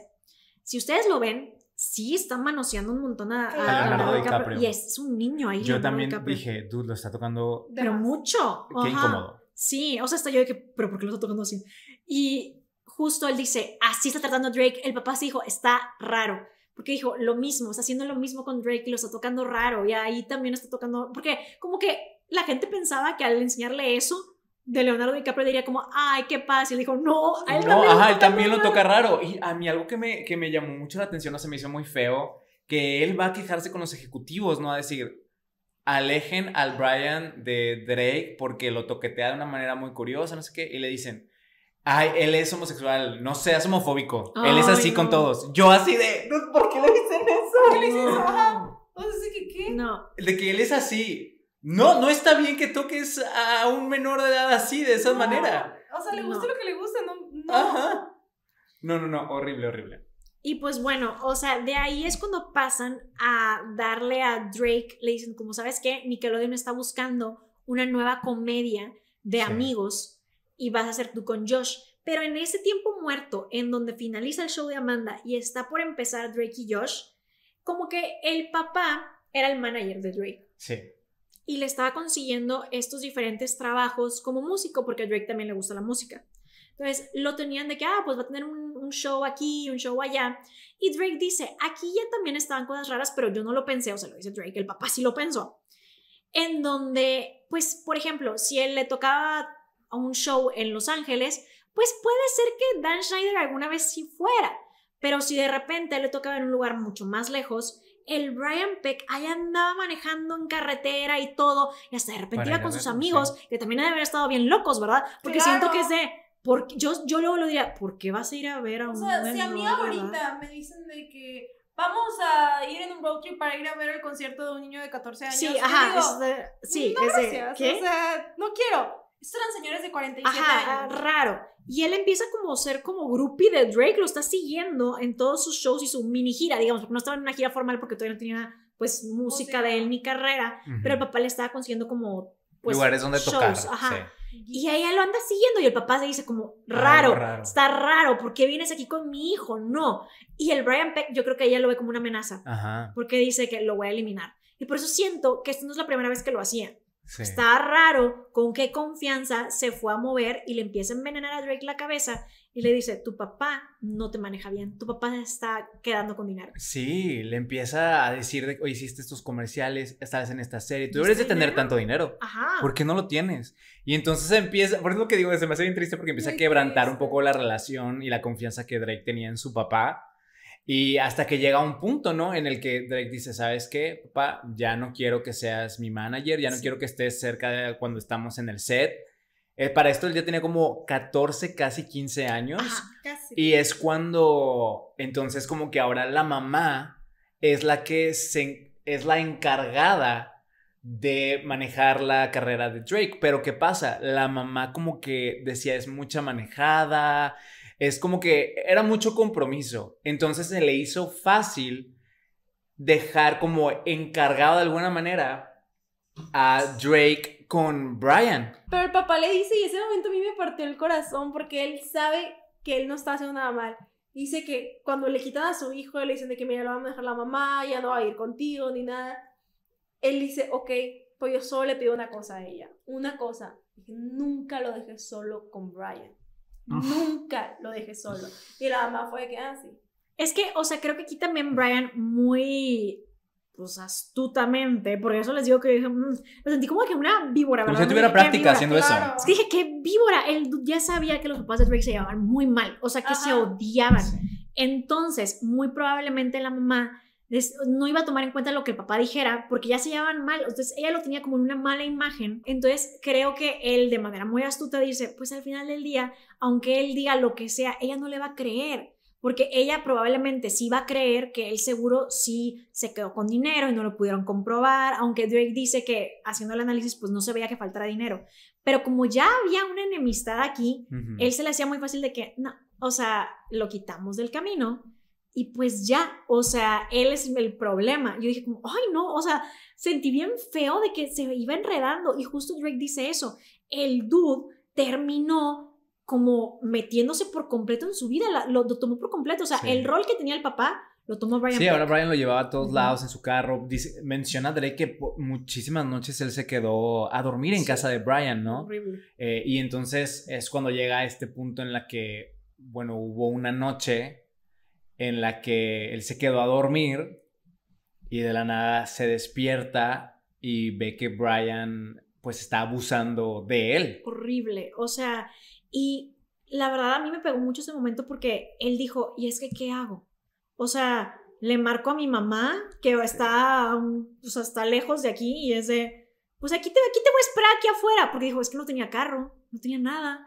O sea, es de, ahorita me enojo con él y, y me quedo aquí en lo que te espero. O sea, creo que él dijo, Sí. como, ¿qué, qué voy a hacer? O sea, se quedó como congelado No. y de, Y también no es tan fácil decirle a tu mamá, me están haciendo esto. claro, o ¿Sabes? sea, O sí, sea, no, o sea, Esa es, es algo, imagina, o sea, te levantas, te están haciendo eso, el shock. no, claro. ¿Cómo, ¿Cómo lidias con eso en ese momento? Y a ella a quien le tenías tanta confianza, ¿sabes? O sea, que era de, no, pues sí, o sea, que le creíste por encima de, De tu a tu papá. papá. A ese nivel de confianza le tenías. O sea, verdaderamente sí me pegó duro y dije de, ay Dios, o sea, Te parte el corazón. qué momento tan fuerte, verdaderamente. Y de ahí, Drake dice que como que el, el Brian se disculpó muchísimo, estaba de, ay no, perdón, no sé qué me pasó, no va a volver a pasar, perdóname. Y Drake le cree, pero que siguió pasando muchas Y veces. que empeoró cada vez. Aja, y justo que se iba poniendo peor. Literal, dice, imagínate lo peor que le pueden hacer a alguien cuando abusan sexualmente. Y es, esa es, eso es. No, Eso y es- ni siquiera lo peor que se me ocurrió fue lo peor. O sea, cuando salieron los documentos de la corte, era peor de lo que pensé. Era cada vez peor. O sea, Ajá. y luego yo también lo busqué en internet. Y hay cosas que hasta ni siquiera pusieron ahí. O sea, porque hasta dijeron que hasta lo drogaba. Sí. O sea. Era el también me estaba Ah, mencionando. yo esta dije, ¿de dónde vino esto? Porque volví a ver el documental para hoy, no, para yo- tenerlo fresco. Wikipedia. Y yo dije, yo no, sé- no, no sale Sí. esa parte, pero ya veo que tú A lo mí me parece. No, curioso yo porque. Drake también, o sea, en las entrevistas que vi de él, también nunca menciona eso. Están los papeles de la corte. Pero es que Drake no lo quiere decir mucho, ¿sabes? Todo. O sea, por eso el- el- en el documental él dice. eh, lo peor que te puedas imaginar. O sea, y a mí se hace muy fuerte porque Ya, es de que, o sí. sea, pues hay muchas cosas muy feas que le puedes hacer a alguien. Claro. Y luego que se lo está haciendo un menor de edad, alguien que está confiado en ti cada vez y estaba como en su propio infierno. No sé por qué, pero genuinamente sí se me revuelve el estómago. O sea, no sé si es porque estoy enferma o algo, pero me está dando como... Oye, aparte como que siento que de alguna manera, pues el programa, ¿no? Drake y Josh forma parte como de nuestra Sí. infancia, ¿sabes? Y creo que eh, eh, personalmente es un programa que me dio tantos momentos tan divertidos y que yo realmente disfruté. O sea, era de mis programas favoritos. Sí. Hasta el día de hoy todavía de repente puedo decir sus frases de, porque yo soy, Soy el número uno. O sea, ¿sabes? As- o sea, así, así, así de importante, ¿no? Entonces, saber que algo así le estaba pasando a uno de los protagonistas, qué horror, qué Yo, horror. yo sentí que como esto sucedió justo Justo antes, y luego, luego ya entra a grabar Drake y Josh, que era lo que él más quería, porque él relata que cuando está pasando toda esta situación y él, ahorita vamos a pasar un poquito a cómo lo acusa, Sí. pero que él casi que se estaba perdiendo el cabello, o sea, que estaba lleno de como Sí, estaba perdiendo el heridas, ajá, y era de, ¿qué va a pasar? O sea, mi show, ¿qué va a ser de mí? No quiero que nadie se entere. Y que justo después, poco tiempo después, ya empieza a grabar Drake y Josh. Y yo sentí que a como él se expresaba en el documental, él para él esto lo vio como un escape, ¿sabes? O sea, como Sí. que su a- agarre a la felicidad, ¿sabes? Ese, su salvación de cierta manera, porque él relata sobre Drake y Josh con tanto cariño y con mucho gusto. O sea, sí siento que es de, vienes de algo muy horrible y para él eso fue como un momento de, de un respiro, ¿sabes? Es que aparte, o sea, hasta él dice que no sé, o sea, viendo lo, lo que viví, lo que pasé, no sé cómo estoy vivo. Y yo creo que está vivo por Ricky Josh. Y por eso le tienen mucho como cariño. Cariño, sí. Sí, o sea, la situación para hablar de cómo lo acusa se pone fuerte porque Drake consigue una novia. Entonces empieza a andar con esta chica y dice, ya, o sea, aquí pues era su refugio, ¿no? O Sí. sea, se la pasaba en la casa de su novia porque él se sentía seguro ahí, ya no tenía que estar durmiendo con el Brian Peck ahí en su casa, ¿verdad? Donde, pues, ¿qué va a pasar? Hoy otra vez va a pasar, no va a pasar, o sea, qué terror, ¿sabes? Qué horrible estar viviendo con eso Sí. y no poder escapar. Y él ya para este punto como que ya quiere, o sea, decirle que es que ya no, o sea, hasta aquí. Él estaba en casa de su novia, le empieza a marcar a la casa. Ah, primero como que le marca el celular de él, ¿no? Ajá, sí. Y Drake de que dice No. ya, o sea, voy a quedarme con mi novia, Sí. no quiero ir a Disney, va y le cuelga. Sigue llamándole a Drake, Drake ya no le contesta y entonces empieza a sonar el teléfono de la casa de su novia. Y entonces es cuando la mamá contesta Sí. Y la mamá dice que, ¿por qué Brian Peck está buscando a Drake? O sea, ni mi, ni mi hija siendo su novia lo busca así, ¿sabes? Sí, ajá. O sea, entonces la mamá dice, aquí hay algo raro. Y le Sí. habla a Drake, le dice, ven para acá. Se hizo bien bonito. Y le dice, ¿qué está pasando? Y él, ah, sí, no, tipo, Brian, me quiero alejar un poquito de él. No, algo está pasando. Ajá. Dime qué está pasando. Esto no Sí, es un comportamiento algo normal. De algo de una persona lógica, o sea, Ujú. de un adulto pensante. Es Sí. que ningún hombre de cuarenta y tantos va a estarle hablando al novio de su hija de 15. Claro, No. ajá. Ajá, es de, ah, ah. Entonces ella se comunica con la mamá de Drake y le dice que, oye, vamos a llevar a Drake al terapeuta familiar porque hay una situación rara. Y la Sí. mamá accede y lo llevan al terapeuta, pero Drake dice que no sabía ni cómo expresarlo y que hasta la fecha no sabe cómo hablar de eso. O sea, no sabe cómo expresarte lo que pasó. Claro. Entonces al terapeuta fue como, le dijo, o sea, tal cual le dice como, ajaja, eh, sí, pero no es la gran cosa, qué bueno que todo se detuvo en, en este momento, o sea, no como, o sea, no, no confesó. Es que también hoy es muy difícil aceptar que te está pasando eso y que te lo están haciendo.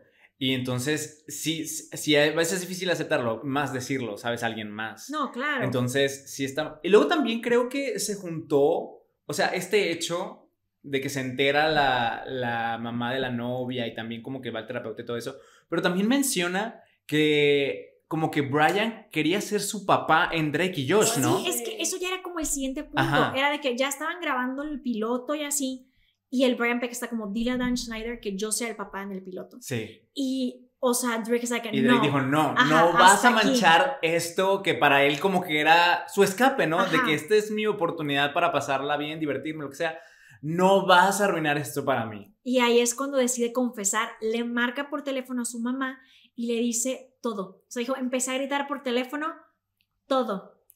Entonces, pues la mamá le marca a la policía y pues ahí ya está y le empieza a decir todo a la policía y dicen, pues tenemos que conseguir una confesión.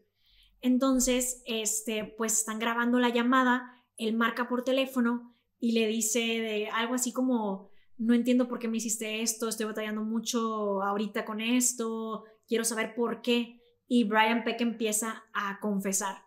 Y que varias veces dice Drake que Brian le está diciendo como, ¿nos están grabando? ¿Esto está siendo grabado? Este, pero consiguen la confesión. Entonces ahí es cuando en agosto del 2003 vamos a corte. Y se pone fuerte porque esto es lo que salió en el documental. Es el reporte de que salió en el documental de lo que hizo Brian Peck.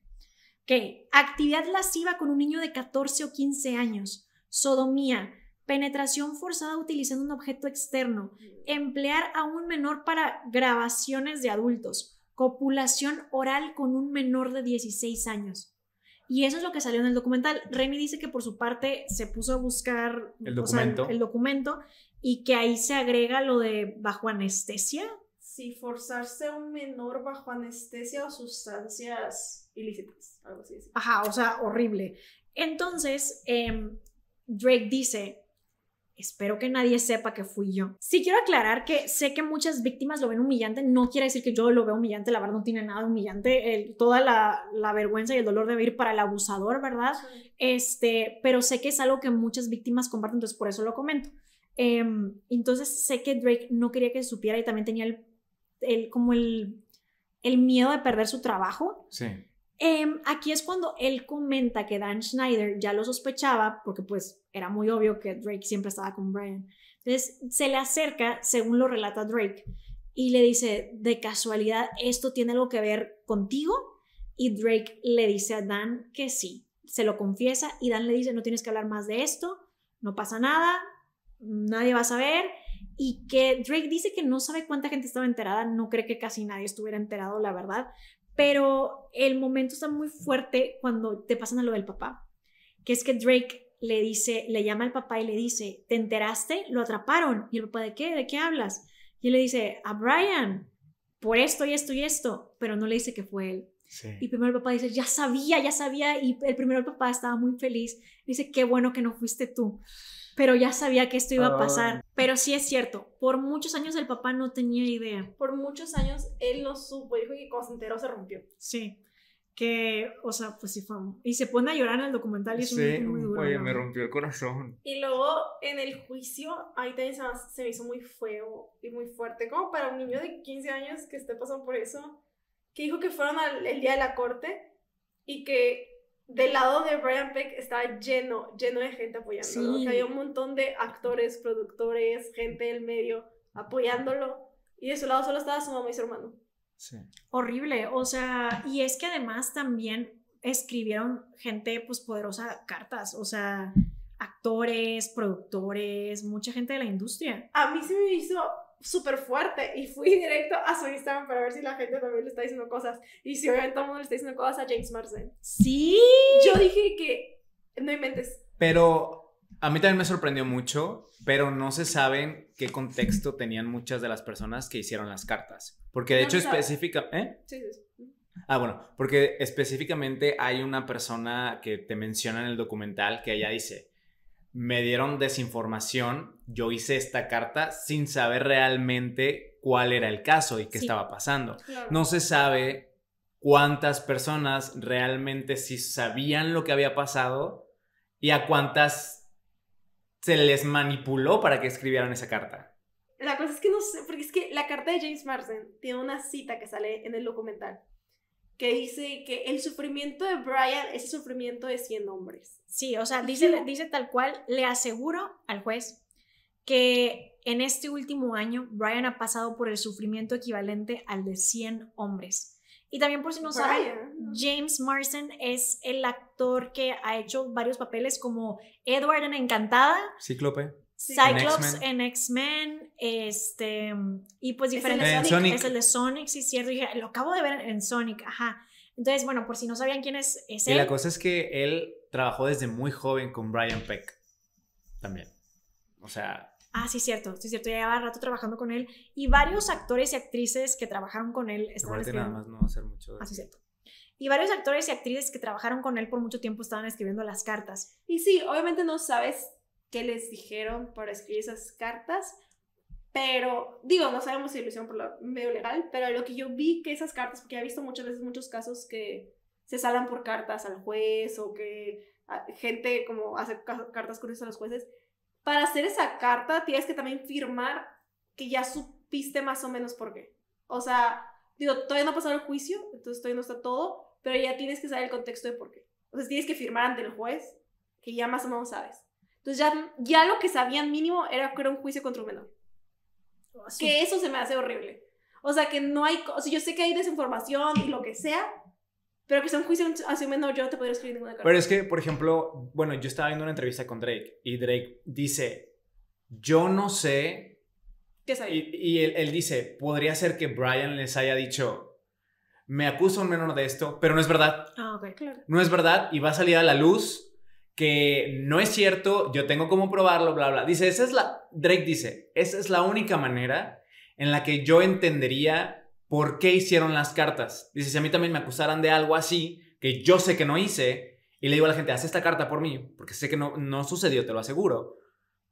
creo que por eso entendería que las hicieran, ¿sabes? Y podría ser algo así. No digo que sea Claro, a sí. fuerza, porque por ejemplo, eh, me llama la atención, hay varias cartas de personas que como que sí sabían. Y me llama la... Hay una en específico de una señora que era ahorita la que estábamos mencionando. Sí, correr. Brett Correll, eh, ella estaba trabajando como asistente de director en series como Drake y Josh, Soy 101, Zack y Cody, em, y bueno, et- etcétera, más shows y programas así, ¿no? Sí. Y ella hace una carta en la que menciona, y de hecho aquí la tengo, les puedo leer así partes de la carta. A ver. Porque lo interesante aquí es que esto sucede antes de Drake y Josh. Sí. Pero ella durante todo Drake y Josh, ella estuvo trabajando con Drake como asistente directora. Ella sabiendo Ay. Todo. todo lo que había pasado. Y me queda claro que ella sabía porque en la carta ella menciona eh, que ella ha conocido a Brian desde muchísimos años y que él es paciente, él es generoso, él es, él es, él les enseña eh, cómo dialogar, es un coach de diálogo y menciona que Drake era como un niño cuando conoce a Brian, pero que gracias a Brian y a, sus, a su entrenamiento y coaching, él ahora es una persona madura que se No. puede desenvolver en su trabajo y Ah. todo eso. Y luego, aparte, menciona que ella en el set y los días que trabaja con Drake, que lo ve bien. Entonces, que pues no, no le afectó mucho porque día a día lo ve y no, no pasó nada. O sea, no, no, él, él está actuando normal. Ay, no. Entonces yo digo, pues tú estabas consciente. Porque si, si estás diciendo, ay, pero no, no fue la gran cosa, porque yo lo veo bien todo el tiempo, ¿sabes? Ay, Dios. O Y sea, Tú cuando llegaste me dijiste que Drake no sabía quiénes escribieron cartas. Drake no sabía de las, bueno, no, no que no supiera de la existencia de las cartas, sino que él nunca había podido leer las cartas. Eh, lo mencionan en el documental que ellos hacen la petición para poder tener las cartas y gracias a este documental recientemente Drake pudo leerlas. Y es cuando él se da cuenta, por ejemplo, con ella, con Beth, eh, que dice, yo trabajé con ella todo Drake y Josh. No puede ser. Y ella defendió a Brian. Y Ay, no, no. es la única, dice, Pobrecito. dice que a él le dolió mucho, por ejemplo, también está el, el caso de Taran Killam. Él, es, él salía en, en SNL y yo me acuerdo de haberlo visto en programas así de niños, salió en Drake y Josh. eh, y no me acuerdo en qué otros, porque yo recuerdo haberlo visto en, en otras cosas así de niños. Y Taran Killam fue alguien que también escribió una carta en defensa de Brian. Y Drake menciona que lo que a él le duele mucho de haber visto a Taran escribir esta carta es que él, para él era un amigo y que era tan amigo de él que Drake tuvo la oportunidad de trabajar con Carrie Fisher y eh, Taran era fan de Star Wars. Entonces él le dijo, ¿y me puedes firmar un póster así como tamaño real, ¿no? De, de Princess Leia, o bueno, Princesa Leia. Me lo puedes firmar, Carrie, para yo entregárselo a mi amigo, ¿no? Sí. Y le dice, le da la dedicatoria para Taran y todo, ¿no? Y cuando Taran logra entrar en este programa SNL, eh, lo entrevistan para una entrevista y le dicen que es de las cosas más preciadas que tienes. Y él, tengo este póster de Leia, me lo entregó Drake, él es mi amigo.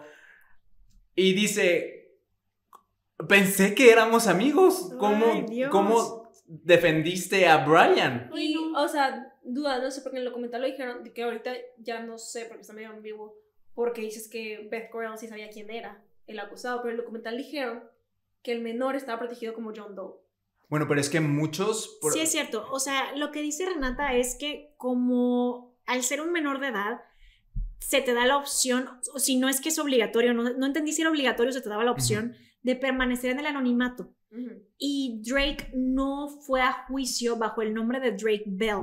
Le, Ajá. pu- le pusieron John Doe, que es un nombre falso, Es un para nombre que, en general que siempre le ponen las víctimas. John Ajá. Doe y John Doe siempre. para que no supieran quién es. Entonces, no sabían, los que lo vieron en el juicio sí, Sí. pero no sabían qui- contra quién iba. O sea, no sé si Taran su Es que contra a, quién. a lo que a lo que yo eh, vi de la entrevista que Drake dio a este podcast, él menciona que él sí dice como que yo muchas cosas de este momento las tengo medio Borradas. borradas, ajá, no, no se acuerdan muy bien. Pero que conforme está pasando el tiempo y que las cartas y todo eso, dice, yo me acuerdo que este estaba en, en, en la, en la corte, que esta estaba en la corte, así. Está este actor que se llama Will Friedle, yo no conozco su serie, nunca lo había escuchado en mi vida, es este, de esta serie que se llamaba Boy Meets World, pero eh, él compartió, bueno, fue compañero de trabajo con este Drake cuando estuvieron en la serie Ultimate Spider-Man del 2012 al 2017. Sí. Este Drake era la voz de Spider-Man y él era la voz de mm, Deadpool. Y te digo, no recuerdo, pero me acuerdo que dice que uno de estos dos actores, él se acuerda de haberlo visto en la corte. Ah. Y entonces dice, yo trabajé por años con, por ejemplo, con Will, ¿no? Y saber que él también mandó una carta eh, a favor de Brian, pues digo, son cosas que a él obviamente Le pues le duelen.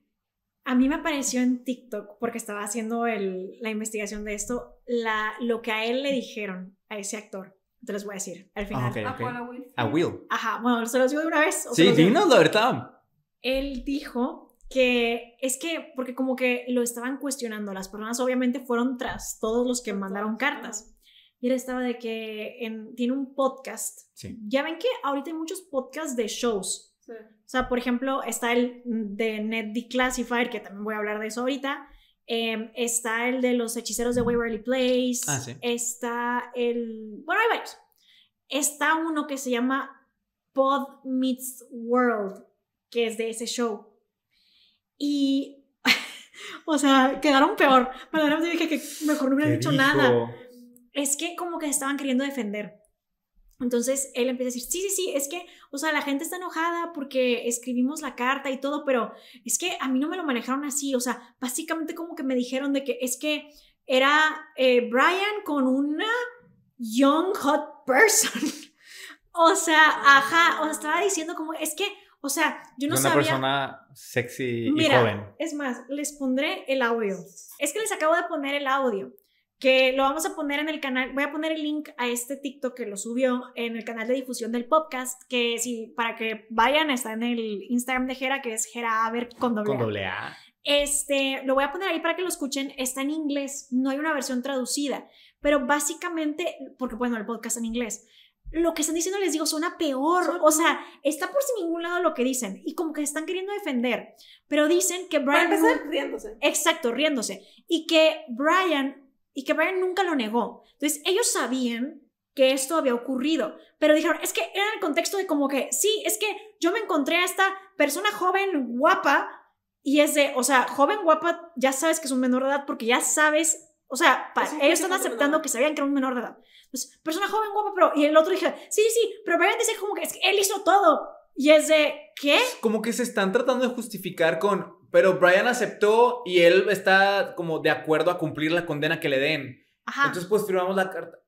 Sí, es- ¿por Ajá. qué le dieron la carta? Sabes que estuvo con un menor de edad. Y que como que era una víctima de ese término que es como que te ponen un anzuelo para la cárcel. O sea, como que justo están diciendo que Brian dice, es que Drake me tentó, básicamente, Sí. ¿sabes? O sea, De hecho, hay muchas cartas que dicen eso. ajá, Sí. muchas cartas mencionan... haber tenido gran tentación de un menor de edad. Es pero es que, ¿cómo no ven? No, O sea, es que aunque no fuera menor de edad, independiente, nadie te tienta a hacer eso. a hacer eso. O sea, no. qué tontería. Y justo vi que Drake dice, he visto que mucha gente dice que yo lo tenté. Dice, yo estaba dormido. Ajá. Dice, y ni siquiera tenía como pijama o algo. Dice, un día me quería dormir en su casa, traía mis jeans y una, una playera normal y nada más me quité los tenis y ahí estaba acostado. Ni siquiera estaba yo como, ¿sabes? De que tentándolo. pero es que Drake quiera. pudo haber llegado desnudo si quería. Ajá. Tú eres el adulto, ¿sabes? O sea, Drake pudo, Drake tenía 14, 15 años. Puede llegar y puede llegar completamente sin nada o lo que sea. Y tú vas a decirle, aléjate de mí, yo Sí. soy el adulto aquí, voy a marcarle a tu mamá en este momento, te encierras en tu cuarto, lo encierras a él o lo que sea, tú eres el adulto, tú eres ahí, dice, el claro. que dices, no, no importa qué trajera el dude, es de, ¿cómo no dicen? Dude, tú tenías cuarenta y tantos y él 14. No, o sea, ¿qué? ¿Cómo? Y este tipo ahora tiene la edad que tenía ese señor, o sea, se te hace bien normal de que... Exacto, o sea, Ah, la- bueno, pero si lo hace todo a la menor edad está bien, o sea, para La- ese señor se lo hace bien. justo, o sea, la explicación de- es, es que, es que, y como que están tartamudeando mucho y están queriéndose excusar porque lo que están queriendo dejar ver es que sí sabían. No, amigos, O sea, hubieran que sí cortado se esa les parte del dijo. podcast, güey. Es que te digo que Del casi- podcast, Ajá. podcast. de bocas. Es que te digo, o sea, según yo, para escribir esas cartas tienes que firmar que ya sabes qué es el caso. O sea, yo... Ellos admiten que sabían. Yo lo que no entiendo, o sea, ok, existe este sistema en el que tú puedes mandar cartas para ayudar a esta persona que cometió un crimen. ¿Por qué van a influenciar el juicio final unas cartas que hablen de que es buena persona? Sí, como quiera cometió el crimen. No sé. Porque el sistema está roto. No La verdad entiendo. es que yo creo, o sea, yo cuando lo vi, yo dije, el que más le falló a Drake. O sea, a- obviamente el más culpable es Brian Peck. Después, la verdad, su mamá. Por soltárselo a La verdad, sí, porque el papá le había dicho El que papá no. se lo dijo. Y por soltárselo. Pero tercero, el sistema de justicia le falló a Drake horrible. O sea, tú como estás ahí, y hasta él dijo que yo tuve que ser súper explícito en contar todo lo que me hizo para ir a juicio. Y que el sistema paga así. No, o sea, y aparte le dan 18 meses. No, 16. 16 meses. 16 O sea, meses. Te digo, se me hizo un paralelo muy interesante con John Wayne Gacy, porque al Dude se le dieron 18 en su primer crimen y a este le dieron 16 y yo dije, ah, mira, Pero ¿cómo te dan 16 no meses sé, cuando Por ser- admitiste todo lo que le hiciste no sé, a un menor de edad? no sé si a lo mejor la ley, es que nunca me he fijado cuán, qué tan grandes son las condenas en el tema de abuso incluso entre adultos. No sé si la ley no lo toma tan en cuenta. Yo también vi que el juez dijo que las cartas ayudaron a que su juicio, o bueno, su condena fuera. Es que para eso sirven las Ah, cartas. Yo, yo entiendo que para eso sirven, pero para mí no tiene lógica No. que, influ- que influyan en el. La. ¿Cómo se dice? La En- pena final, o sea, lo, que te Claro, ponen. sí. No Ay, me no. parece justo. Y es más, es un tema que tocamos la vez pasada en Desperate Housewives Sí, con la actriz de Lynette, que también era como que, ah, fue corrupta y lo que quieras. Y yo también no entendía por qué la carta de Eva Longoria iba a ayudarla. Dude, hizo un crimen. sí. O sea, claro, es muy distinto, no se compara, pero es un crimen, ¿por qué te va a ayudar? Y sí creo que lo que quieren decir es que es una única ocasión, ¿sabes? Mm. Y entonces no va a volver a pasar. Pero eh, es que en casos como estos, o sea, no es como lo típico que te, perdón, ahorita te, te dejo contar, pero no es lo típico que te dicen como, ay, es que robó una hogaza de pan porque tenía hambre. Es, Bueno, no es que aquí hay una, hay una justificación, ¿sabes? Claro. O sea, esto es un crimen feo. Es una cosa de, a mí no me importa cuántas cartas me vas a mandar, Sí. el dude ve todo lo que le hizo a un niño, ¿sabes? Es de, por más que me digas, él era una increíble persona, esto que hizo es horrible. Entonces no importa, pero pues, o sea, pero sí que ibas a decir, Ani. Que creo que las cartas funcionan, y como lo ve el sistema legal, es más del lado de que tú cuando metes a la cárcel a alguien es para reformarlo, se supone, el, como a la persona. O sea, entra y se supone que las cárceles son reformativas. Entonces, estás sacando a alguien de las calles para mejorarlo. Y tienes que probar con suficiente, porque Mm. la, la ley es como, o sea, pues tienes que probar la inocencia de la persona, ¿verdad? Entonces tienes que probar con suficientemente fu- con suficiente fuerza que esta persona allá afuera hace daño. O sea, sería una persona dañina. Entonces, las cartas que ayudan es para demostrar que allá afuera no es una persona dañina. Ok. Y por eso influencia tiempo se puede reformar. Se puede reformar y no ocupa mucho tiempo en reformación. Pero mi duda, ¿tú crees Claro que alguien no. de ese calibre, güey, 16 meses para No, reformarlo? no, no, no. Ni con toda una vida de lo de reforma. Pero es que además aquí hay una cosa de que también los más privilegiados van a recibir mejor trato por la justicia. Que digo, lo sabemos, pero aquí se prueba mucho porque, por ejemplo, él, que viene con cartas de mucha gente famosa, tiene peso, quieras que no. O Claro. sea, es de gente de renombre, productores, gente importante. ¿Cuántas personas no han llegado a pasar que son, que las apresan por su color de piel?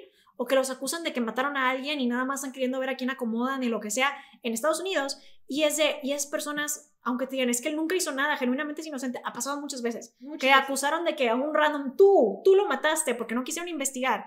Y es de, dude, no fui yo, porque ahí las cartas no funcionan, de, es que jamás ha cometido ni un solo crimen, claramente no lo mató. No, Claro. es en casos de privilegio, de tengo mis amigos Sí. ricos, mis amigos famosos e influyentes, y es súper injusto, la verdad. Y pues al final del día soltaron a este señor en 16 meses, a este criminal. Horrible.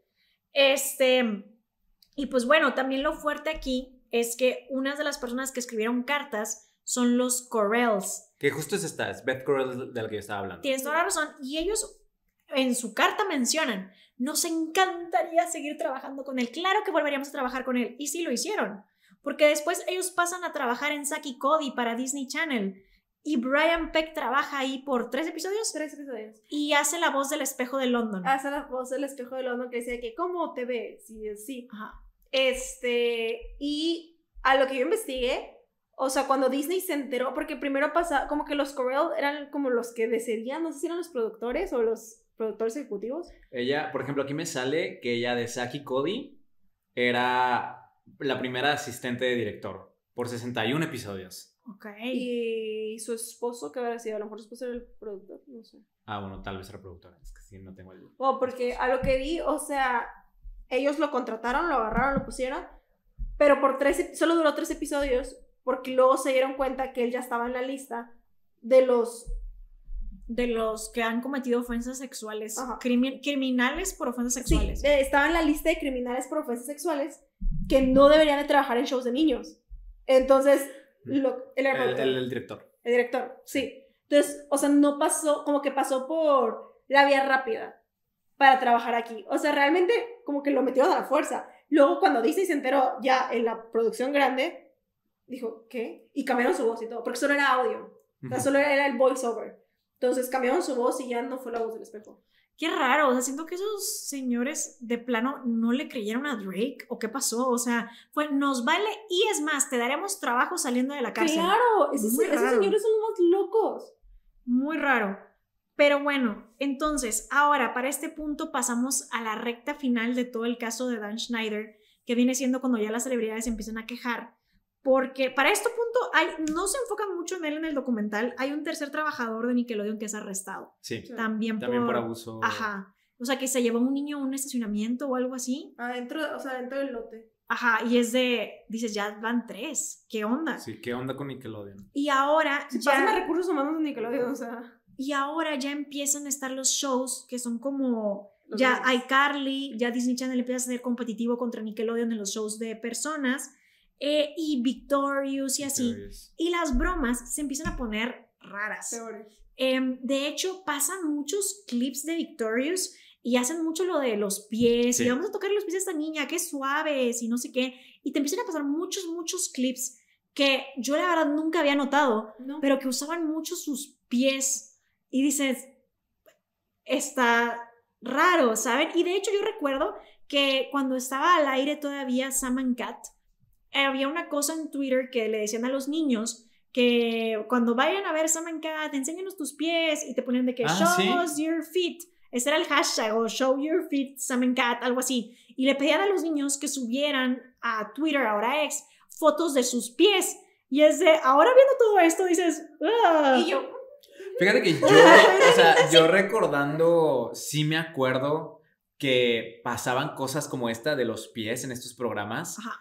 Pero yo me acuerdo que era parte de lo que me gustaba de estos programas, que eran como muy random. Ajá, chistosos. Que iba a haber algo que yo decía, ¿qué, ¿Qué? fue eso? No sé, pero me entretuvo. Entonces era algo que me gustaba de estos programas y que ahora digo, "Ay, no estaban bien, ¿verdad? Los No. clips también que han salido de Ariana Grande, dices, son los peores. la, Esos son la pusieron a hacer cosas muy cuestionables. O sea, porque por ejemplo, la tienen sí justo metiéndose su pie a la boca, pero también la tienen poniendo unos tomates en un brasier Sí, y luego la tienen apretando una papa. tratando de exprimirla Ajá. con dos manos. Sí, sí, sí. mientras también hace, ajá, gime. Y también lo de el que se echaba, como que está acostada y la hicieron echarse agua y, Y el así. point of view, o sea, bueno, la perspectiva de la cámara, siento que eso es como Horrible. lo que hace como muy cuestionable. Es que todo eso yo digo es que yo lo veía de chiquita y yo decía, está chistoso. O sea, a mí el personaje de Ariana Grande era mi personaje favorito en Victorious. Sí, también era impresionante. O sea, Y yo decía, cada vez que salía Kat, yo decía que bro, la amo, me encanta. O sea, es que es bien rara. es bien rara. Yo no lo veía. Pero ahora digo, mis shows de niños los usaba para que Sí, palabras ah, con P ajá, lo vieran y justo. estuvieran divertidos. Es que justo ahí está Eso lo raro. Me, me hace sentir mal. Sí, porque los niños no lo van a entender, justo. Es que, ah, chistoso, pero podrías ver algo chistoso que no tuviera esas connotaciones. Ujú. Y es de, ¿para quiénes serían estas bromas? ¿Para, para quién? Bueno, para mí. ¿Sabes? Ajá, Sí. está raro. Y de hecho, o sea, Dan Schneider se, se defiende mucho diciendo como, sí, yo hice estas bromas, yo las escribí o las aprobé, si, si es que sus escritores las escribieron, ¿no? Pero habían mis jefes arriba de mí, ¿no? Estaba Sí. Nickelodeon Los Ángeles y Nue- Nueva York y ellos aprobaron todo. Como que él trata de Excu- lavarse ajá, las sí. manos un poquito, decir, bueno, yo lo hice porque lo que él dice, yo hacía programas que le gustaran a los niños. A los niños les daba risa eso, yo lo hacía. Porque yo quería que mis programas fueran vistos. Y mientras la gente arriba de mí pues me aprobara lo que yo estaba poniendo, pues eh, significa que no había nada mal, ¿no? Pero, o sea, claramente, amigo, estás consciente porque hasta con Amanda, The Amanda Show, el Penel- Penelope Taint, Ajá. O sea, con eso hiciste esa intención, ponerle un nombre sexual.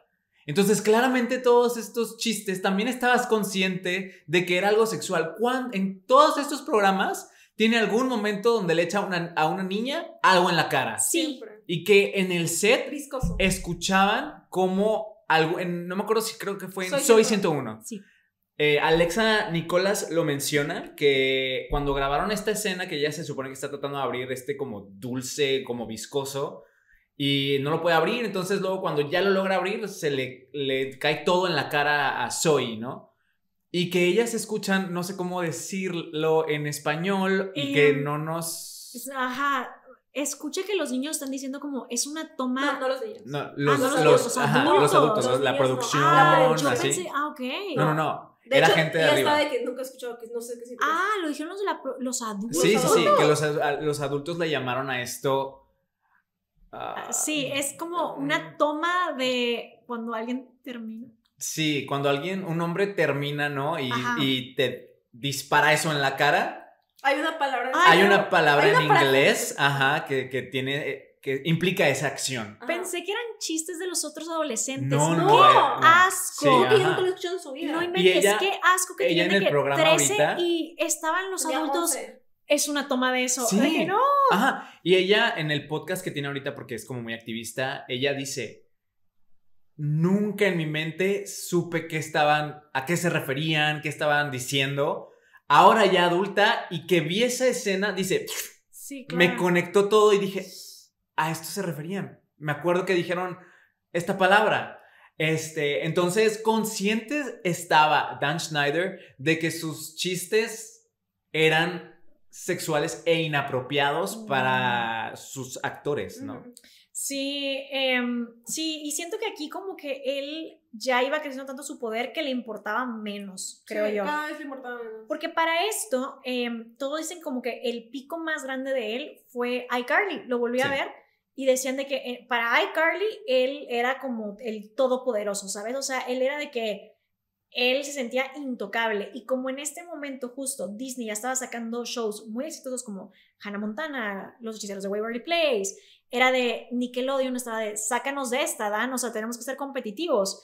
Entonces sacan iCarly, que es un gran éxito, y pues justo es cuando Janet McCurdy dice de que es que nos trataba horrible. O sea, a mí me decía, vas a trabajar, era de poner a los niños a trabajar horas que ya ni tenían que estar trabajando. Y es de, o trabajas aquí, si no sea, perdón, o sea, si no trabajaras, si no fuera por mí, estarías trabajando en una tienda de yogurt. Sí. Y les decía cosas bien De feas. hecho, o sea, quiero, quiero mencionar, el, el documental no se enfoca en esto, pero lo he visto que lo menciona la Alexa, la Drake, que pues cuando firmaron el contrato, ¿no? Fue como, ah, te pagaban el episodio y ya. sí. O sea, usualmente una serie hecha por adultos, usualmente en su contrato, ellos reciben residuales de cada, la, la transmisión de los episodios conforme pasan los años, tú sigues generando ganancias. Ellos, al ser niños, no generan ninguna ganancia, a pesar de que esos programas siguen estando al aire al día de hoy, ¿no? Sí. Y realmente dices tú, tú, eso es explotación Sí. de niños. O Sí, sea, no, claro, ajá, horrible. Y también, en este punto del documental, que ya es cerca del final, eh, una de las que trabajaban en el vestuario, de las encargadas de vestuario, decía que ella no quiso mostrar su cara, pero decía que eh, casi siempre a alguna de las chicas que se encargaban del vestuario eran las que agarraba a Dan para obligarlas a pues, que les dieran un masaje. Ajá. Y decían, es que ya no sabíamos para este punto con quién quejarnos, porque ya sabíamos que como que la máxima autoridad era Dan Schneider y no sabíamos para dónde ir. Em, en el 2014, en los Kids Choice Awards, Nick le da a Dan Schneider un reconocimiento por pues, toda su carrera y aquí la gente empieza a notar que Janet McCurdy no va. sí. O sea, va Drake, va Josh, va Victoria Justice y Ariana así. Grande. Eh, Ariana Grande no ¿Sí estaba ahí? sí estaba Sí, sí ahí. estaba Ah, ahí. no, no, que- ah, no me di cuenta. Sí, sí, bueno, me acuerdo de su vestido naranja. Yo también me acuerdo mucho de ese vestido naranja. Ah, bueno, pero Janet McCurdy no estaba ahí.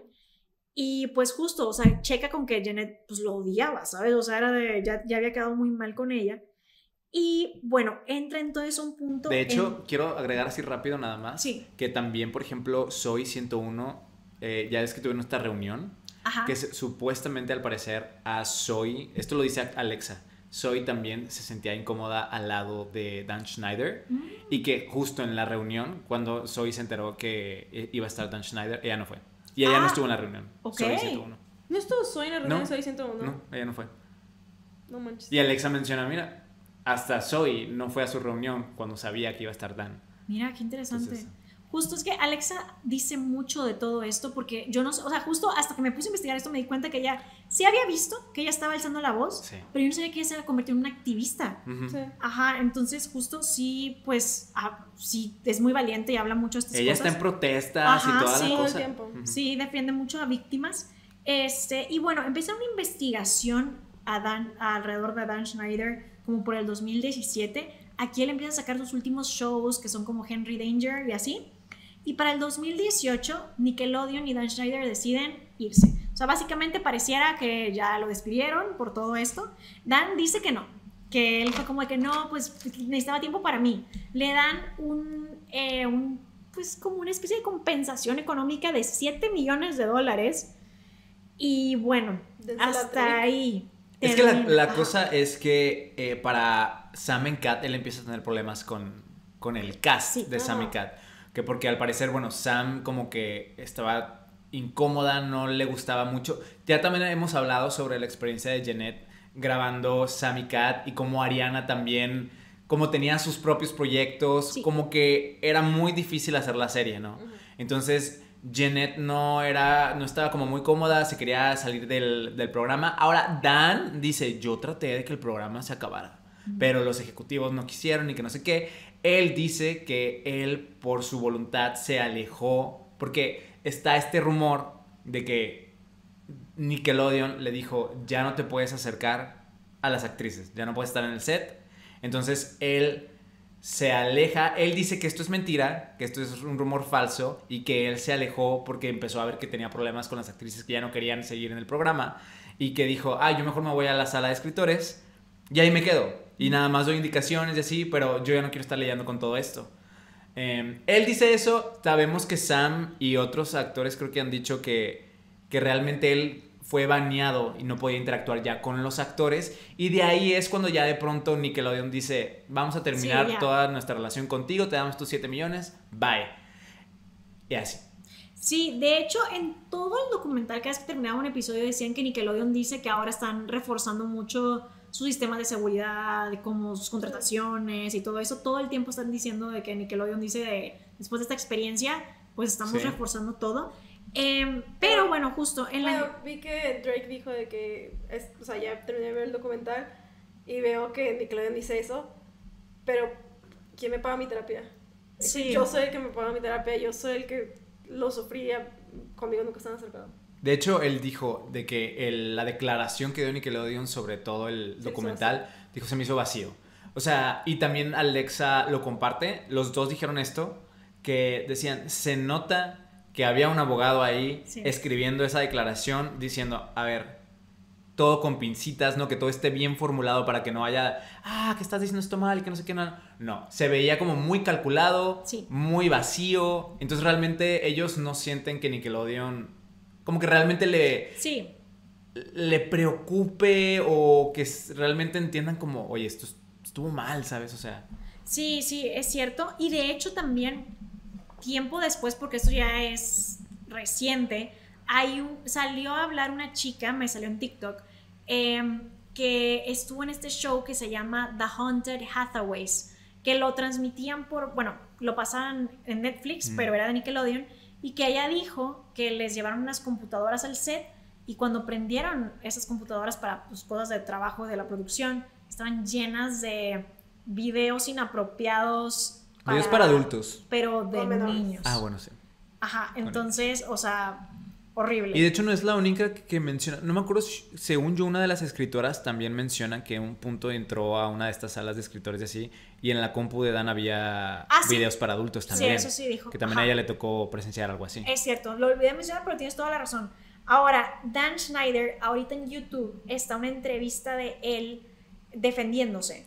Pidió a este actor que se llama Boogie, que eh, interpretaba el personaje de T-Bow en iCarly, Sí. que lo entrevistara y se ve bien falso porque él llega y dice, yo después de ver el documental, le hablé a Dan y le dije, Dan, ¿quieres hablar al respecto? ¿Quieres que te haga una entrevista? Y Dan dijo, sí. Y yo de... Se ve "Ah, ajá". súper planeada, súper Claro. calculada. Y es más, he estado viendo, esto justamente es esta dinámica de poder. Él se le pidió que si él quería podía participar en el, en el documental. Él no accedió. Sí, no accedió. Pero ¿qué decide hacer?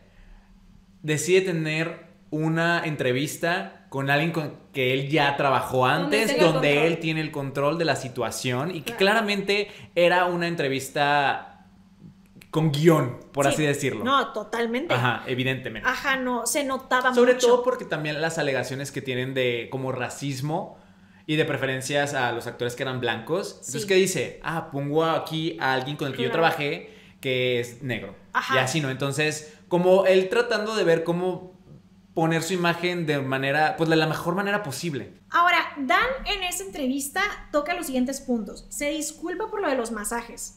Se disculpa por las bromas inapropiadas en la habitación de los escritores, pero nunca siento que se vea verdaderamente arrepentido. Aparte, la manera en la que frasea las cosas, dice, "Ay, yo haber participado en eso me siento mal. Tú, tú Tú no hiciste. participaste, tú lo creaste. Sí, justo. O sea, tú eres el autor de todo esto. Sí, sí, sí. Este, y luego también acepta. O sea, lo único que realmente sentí que aceptó fue que trataba mal a la gente. Sí. O sea, eso sí lo reitera muchas veces de que es que sí, por la presión, mi mal carácter, como que de esa no había cómo salvarse. Supongo que había demasiados testigos o yo no sé. Pero eso es lo único que vi que dijo que si regresara en el tiempo, eh, trataría mejor a la gente. Porque es que por la presión o por lo de que estar checando muchas cosas, pues a veces no trataba a la gente como debía. Eso es lo único que como que acepta. Sí, porque sí dice de que. Y eso no lo debe de hacer un, un, un jefe.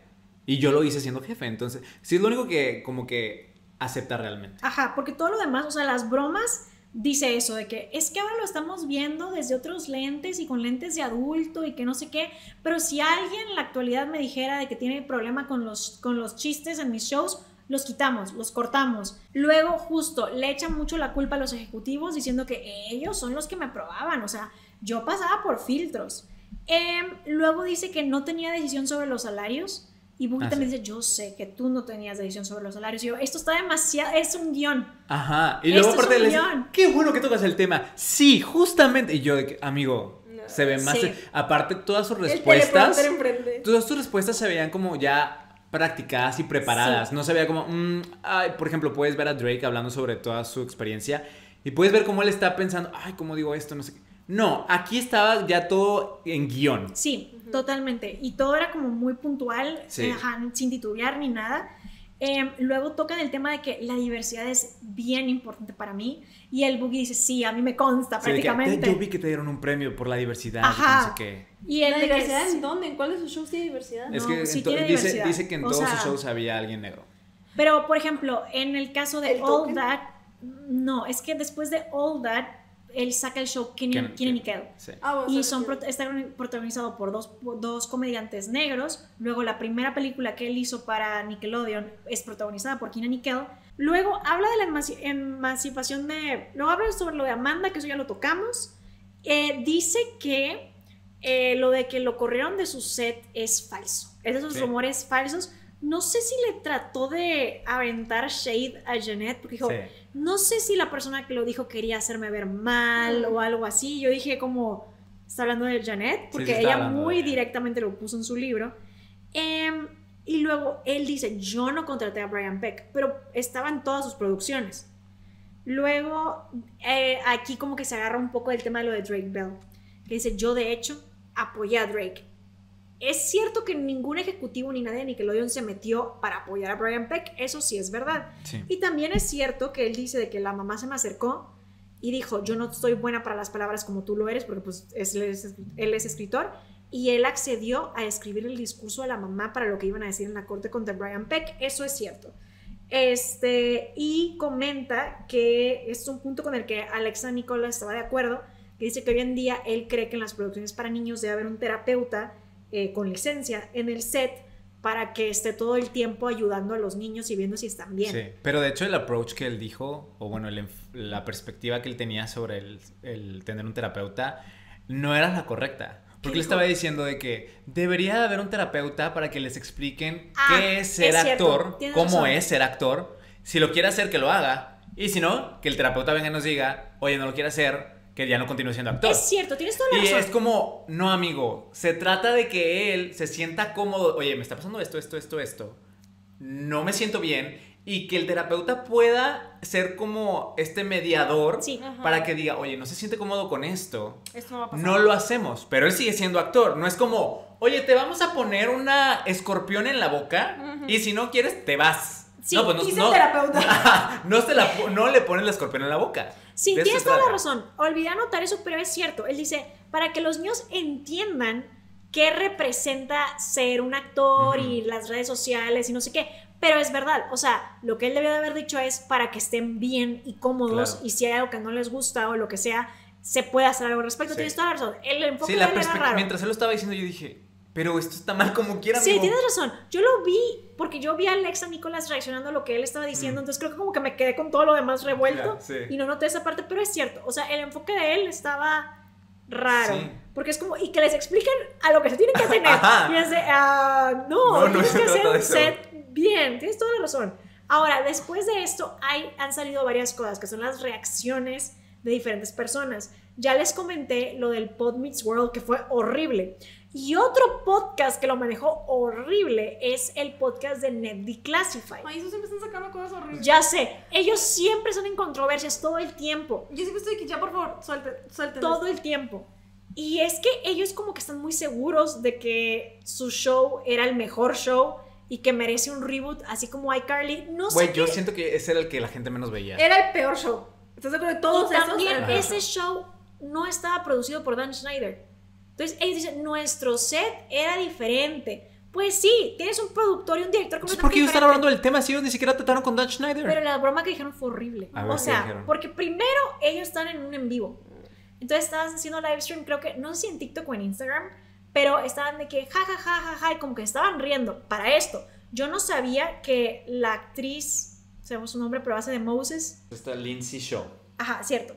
Ahora, para esto, Lindsay Shaw, quien hace el personaje de Mosley, que creo que es la única protagonista mujer, porque es... Sí, eran tres. Eran tres. Ajá, es Ned, es Lee, Cookie digo Cookie, sí. y luego Mosley. Ujú. Bueno, ella ya tenía pleito, beef con esta Alexa Nicholas. Porque como que ya habían dicho por ahí que ella siempre estaba burlando de, de ella. ¿Quién de quién? Alexa de... De, De Lindsay. Perdón, perdón, al revés. Lindsay, Lindsay de Alexa. de Alexa. Ok. Y como que se burlaba mucho de que ella fuera activista.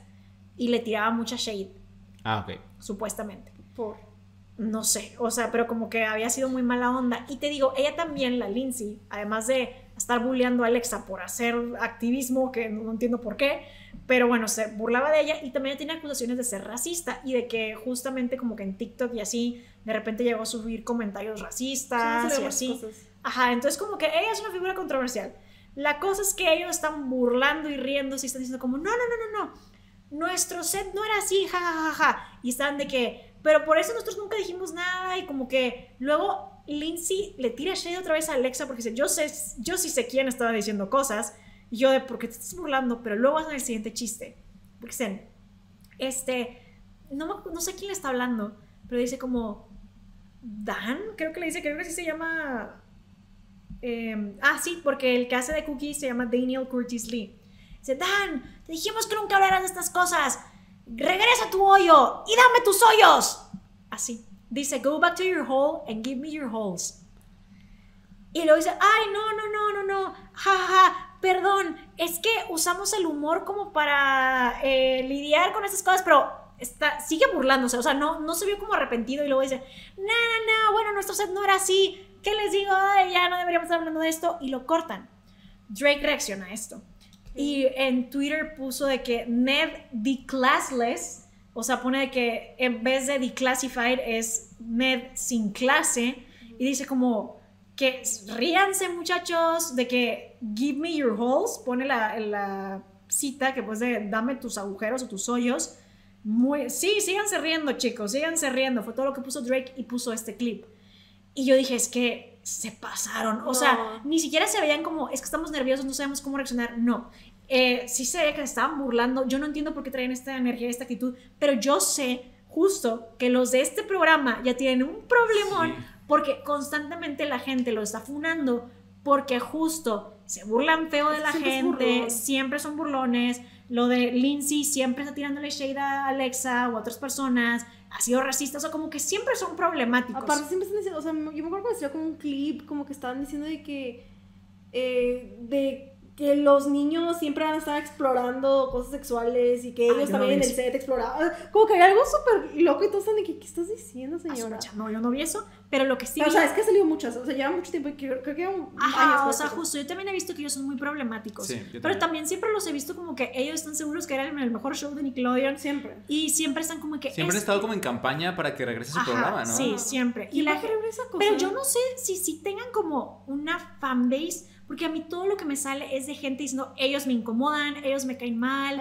ellos se ven burlones, es lo único que me sale. Entonces yo no sé si tengan una fanbase, porque yo sé que hay gente que sí ve el podcast de los hechiceros de Waverly Place, ¿sabes? O sea, Claro. me sale Ah, pero gente es que... que son de dos personas cute, ¿sabes? Y también me salen personas que dicen como de que ya hay que dejarlo ir, pero en su mayoría sí veo que como que la gente está Sí. ahí al pendiente, pero aquí digo de, solo me sale gente como que dicen, es que ya, no puedo más con esto. Ahora, luego hablan al respecto en un episodio del podcast y como que se justifican diciendo que ellos no sabían lo que había pasado, pero, ajá, y yo de, pero en el live dijiste lo que había pasado. Entonces, bueno, o sea, la verdad, horrible lo que pasó, muy problemáticos, pero ya esto ya es frecuente con ellos. Sí, o sea, ya no son muy problemáticos constantemente. Y bueno, la otra cosa son las especulaciones que han estado saliendo. Porque la gente dice, es que se necesita que Amanda salga a hablar. Y la gente habla de esta cuenta de Twitter que se llama Ashley Banks, que hace muchos años supuestamente pertenecía a Amanda. Y que en un, de hecho en un punto hay una foto en donde Ash- la cuenta Ashley Banks dice, sí soy Amanda, yo soy la real, y por una foto de la identificación de Amanda. Ahí ella está diciendo que lo- les digo, esto es especulación, no se puede probar, Amanda tal cual no ha dicho nada, Esto es lo que la gente ha encontrado en la cuenta de Twitter, pero en esa cuenta em, supuestamente de Amanda, ella dice que a los 13 años ella quedó embarazada de Dan Schneider y que fue obligada a terminar con el embarazo. Y también hay un chiste en el show de Amanda que la gente conecta con esto, pero de nuevo, como todo esto es suposición, em, no me queda claro la timeline, pero este clip sí lo vi, que en el show de Amanda, este, ella, como que llega un señor a vender pretzels para la audiencia y le dicen, si compras tantos pretzels tienes un bebé gratis. Ella, un bebé y que saca de como un- una parte del carrito de pretzels un bebé y se lo da a Amanda. Y la gente dice, esto es más o menos al mismo tiempo, no sé si sí o si no, les estoy diciendo todo esto es especulación, pero son las cosas que la gente está hablando por fuera y que Amanda como que se saca de onda y está como, ajá, un bebé, ok. Y dicen que si sí es un chiste de Dan para burlarse de la situación con Amanda, de nuevo, es especulación, así como es especulación que dicen que el actor que hacía del hermano de Carly, en iCarly, Ok. que dicen que ellos los protegían en el set, también es especulación, porque... Que él los protegía en el set. que porque dicen que si te fijas en muchas cosas, en muchos momentos, él como que se pone en medio de Dan Schneider y Mm. los demás. mucho eso, eh. Y de hecho, a mí cuando me salen clips de él jugando con los niños, sí se ve una convivencia normal. Sana. Porque hay un punto donde, por ejemplo, estoy ayudando a Janet, creo que está como en una patineta y la toca, siento que como todos tocamos a los niños, que es como, eh, o sea, como así, de, Sí. no, y como también, si, si sí la vas a abrazar, es como de los hombros para arriba, ¿sabes? O sea, como que así. Y sí, en un punto como que la quiere ayudar, pero pone la mano como tiesa de, "Ay, es que no te quiero tocar inapropiadamente. Entonces sí veo que la convivencia de él con los niños era súper normal. Eh, y Janet habla muy bien de él en el libro, dice que él sí era como un hermano mayor para todos. Sí. Y se comenta, esto sí está puesto, que él estaba en el set incluso en días que no le tocaba grabar. Y que entre chiste y chiste, él sí le decía a Dan de que déjanos ir a la casa, llevamos horas aquí trabajando. Entonces, de nuevo, es especulación porque él nunca ha testificado ni él ha estado como involucrado como Alexa, por ejemplo, que Sí. sí ha hablado. Probablemente firmó Es que un es lo que o algo así. que, Puede ser. este, que ella también dice en su libro que ella le ofrecieron eh, firmar un NDA de 300 mil dólares para que no hablara nada de lo que pasó. en Es cierto, eso nada, sí lo mencionamos. Y dice, o sea, hay muchos actores de, de Nick y muchos que han salido y todo dicen, am, o sea, Janet no fue la que le ofreció más dinero. O sea, hay otros que sí lo firmaron y como dicen, o sea, Miranda Crossroad o Josh Peck, que nunca han hablado de eso en público, dicen, es que s- seguramente ellos sí firmaban los NDA. O sea, se cree, es especulación. Sí, Ajá, es especulación. se cree espe- especulación y es de que, y pues si lo firmaste, pues ya. Bueno, podría ser, pero justo, o sea, ahorita está saliendo mucho que creen que él como que los cuidaba, los de iCarly. Igual yo siempre, o sea, bueno, últimamente he visto esta conversación, sobre todo en X me ha salido, que según yo, si un NDA está como cubriendo un crimen o algo, no es válido y tú puedes hablarlo. Pero creo que es de que no hables lo que a ti te pasó. La verdad no sabemos, pero sí es cierto que hay muchas celebridades que están involucradas y que no dicen nada. O sea, y la gente dice, ha de ser por el NDA, han de todos estar amarrados por el mismo NDA que intentaron pues para Janet y, Y que, no, para, ajá, como por Janet se Claro. mucho esto. y que pues Janet justo en las entrevistas dice que ella sabía que iba a tomar el camino más difícil, pero de todo como que tomar el camino honorable y pues eso hizo y no aceptó el dinero. Entonces pues no se sabe qué dice el NDA, no se sabe qué tanto pueden decir, pero se cree que por eso muchas celebridades no han salido a hablar, pero pues no se sabe porque también mucha gente estaba criticando a Josh diciendo que por qué no está hablando públicamente de todo esto Sí. y Drake me parece que lo defendió, ¿tú Sí, dijiste? sí, Drake lo defendió. Drake dijo, a mí, en privado, me habló. Y eso es lo que yo valoro. Entonces, ¿por qué no hablaría? Porque Josh es activamente creador de contenido. Ahora, a mí Josh tampoco se me hace como, ay, qué lindo Josh. Y de hecho, estaba yo viendo justo esas transmisiones que hace Alexa, porque creo que hace streams, pero en YouTube. Sí. Y ella estaba reaccionando a cuando Josh estaba diciendo que Janet fue a su show, que tiene un podcast que se llama The Good Guys o Los Tipos Buenos. Y que Janet se sintió incómoda por algo, no sabemos qué, porque Josh no lo entiende no, no, y Janet no ha dicho nada, pero como que no le gustó el episodio. Tal vez Josh estaba del lado de Dan, tal vez no la escuchó, pero que pues justo ella les pide que no saquen el episodio. Y él está hablando con Tana Mojo en este episodio en donde está hablando del caso de lo de Janet y él repite un montón de veces. Y como nosotros somos bien buenos y somos bien buena gente y somos bien buenos dijimos ok no lo sacamos pero luego vemos que está avanzando todo esto y dijimos tal vez ella quiera como que vio lo que no lo quiso decir así pero como que vio que estaba volviendo muy famosa y que el caso estaba agarrando mucho vuelo y digo ah, y dijo ay le voy a volver a hablar para ver si quiere volver a grabar.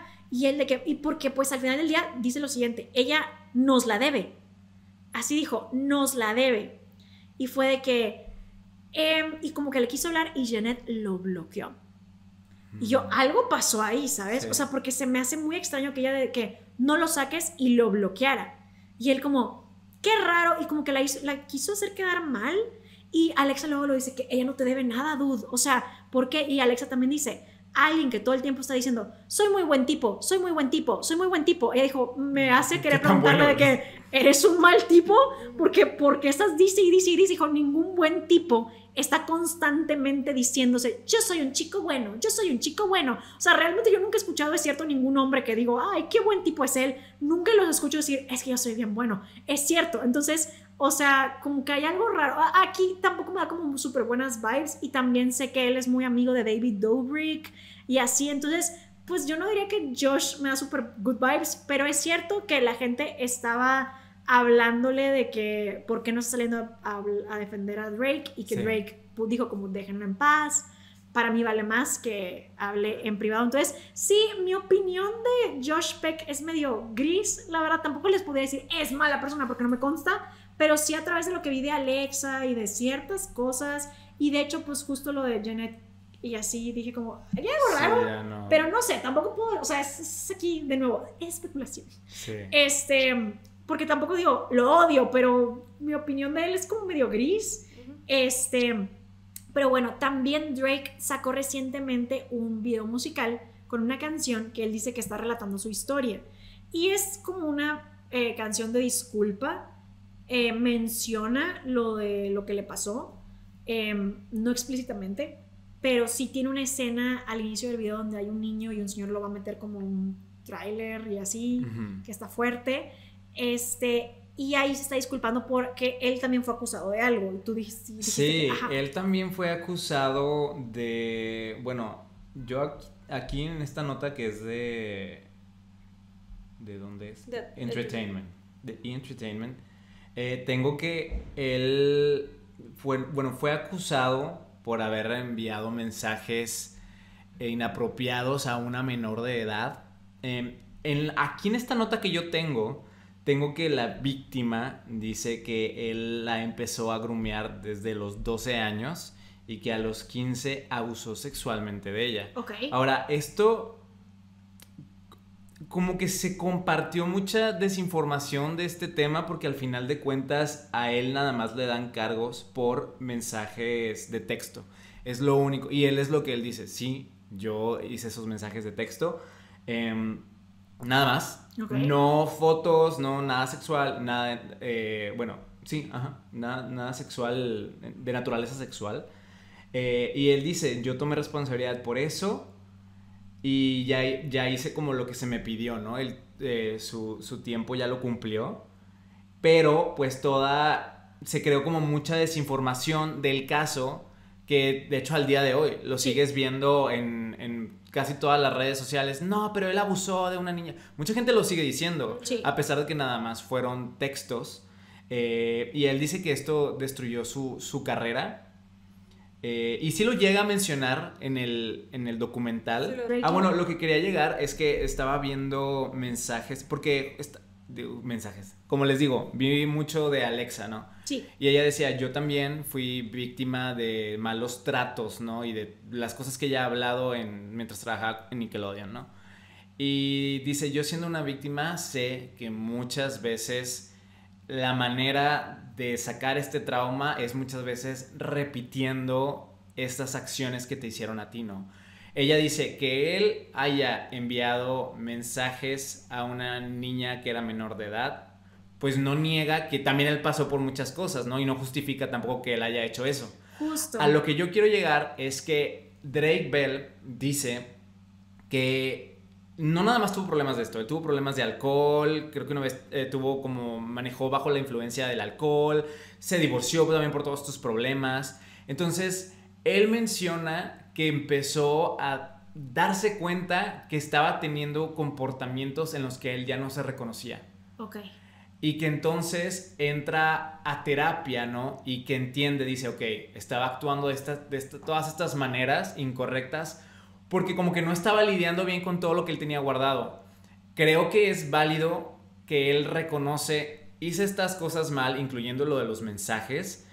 Entiendo por qué lo estaba haciendo, ¿no? O sea, y que estaba mal, él lo reconoció, se estaba desconociendo, entró a terapia y dice, ok, por ejemplo, me, da la impresión de alguien que, como la hablamos hace rato, de alguna manera se reformó, ¿sabes? Mm. Este, porque sí, no, no niega, o sea, ahorita todos estamos, al pobrecito, no niega que él le mandó mensajes a una menor de edad. Ajá, justo, es que... mm, Ajá, Sí, ajá. es- este- eso está mal, Sí. pero veo en él como, ok, identifiqué que hice esto mal. sabe que está mal. Ajá. Y entré en terapia y todas estas cosas para arreglar esto que estaba yo haciendo mal, ¿no? Entonces me gustó de alguna manera ver como que toma responsabilidad de sus actos y que dijo, esto está mal, lo estoy tratando de arreglar constantemente en terapia, ¿no? Entonces Alexa Nicholas reacciona a lo de Drake Bell, no sabía que lo había mencionado. Tiene videos de todo el tema, o sea, te lo juro, yo estaba viendo y yo dije, wow, o sea, ha hablado de todo. Wow, ok. Sí. Sí, es que yo solo vi su reacción a lo del podcast, de lo de Josh, su reacción a la entrevista de Dan Schneider y... Tiene reacción también a todos los A episodios. todo. Ah, ok. O sea, habla como del 1 y del 2 en un video, luego habla del 3 y del 4. El 3 y 4 dura creo que más de dos horas. O sea, Sé que ella también es mamá, ¿verdad? Porque menciona Sí. mucho Es eso. Ah, ok, ya, porque lo menciona mucho. Sí, bueno, pues básicamente esto es todo, ¿no? O sea, creo que ya cubrimos todo. O sea, resumimos todo. sí. estamos haciendo ya casi tres horas de episodio, pero aquí ya tienen todo, ¿saben? O sea, lo de Sí. las especulaciones, lo de los podcasts, lo de no sé qué. Entonces, les tratamos de traer el episodio lo más completo posible, pero obviamente seguro se nos están escapando cosas. Claro. Este, y obviamente es un tema muy difícil de manejar. Estamos haciendo, tratando de hacer todo lo mejor posible, tanto como podemos. Y pues bueno, eso es todo lo que se habló en Quiet on Set. Esperamos que pues les haya parecido interesante. Esperamos que si no lo habían podido ver, eh, ahorita lo hayan podido ver. Les digo, si no subimos al canal de difusión lo que les comenté de lo del podcast, recuérdenos. Este, porque ahí lo vamos a subir ya una vez que se sube este episodio y así. Em, pero bueno, igual, si hay algo que se nos pasó, nos comenten en los comentarios o nos lo pueden decir por nuestros Instagrams. ¿Cuál es tu Instagram, Jera? Mi Instagram es Geraber con doble A. Ahí también está el canal de difusión. ¿Cuál es tu Insta, Reni? El mío es Reni Rebeles, Reni con Y y, y Rebeles con W. Ajá, y Reni es también agente de Disney, entonces ella te puede armar tu viaje a Disney completamente gratis. Y a mí me pueden encontrar como soy Raiza Rebeles. Y pues bueno, esto ya es todo. Eso es todo. Creo que estuvo muy completo. Sí, estuvo muy largo, la verdad. Sí. Pero creo que, que está completo. Y nosotros nos vemos en el siguiente episodio de El Podcast. Bye. Bye.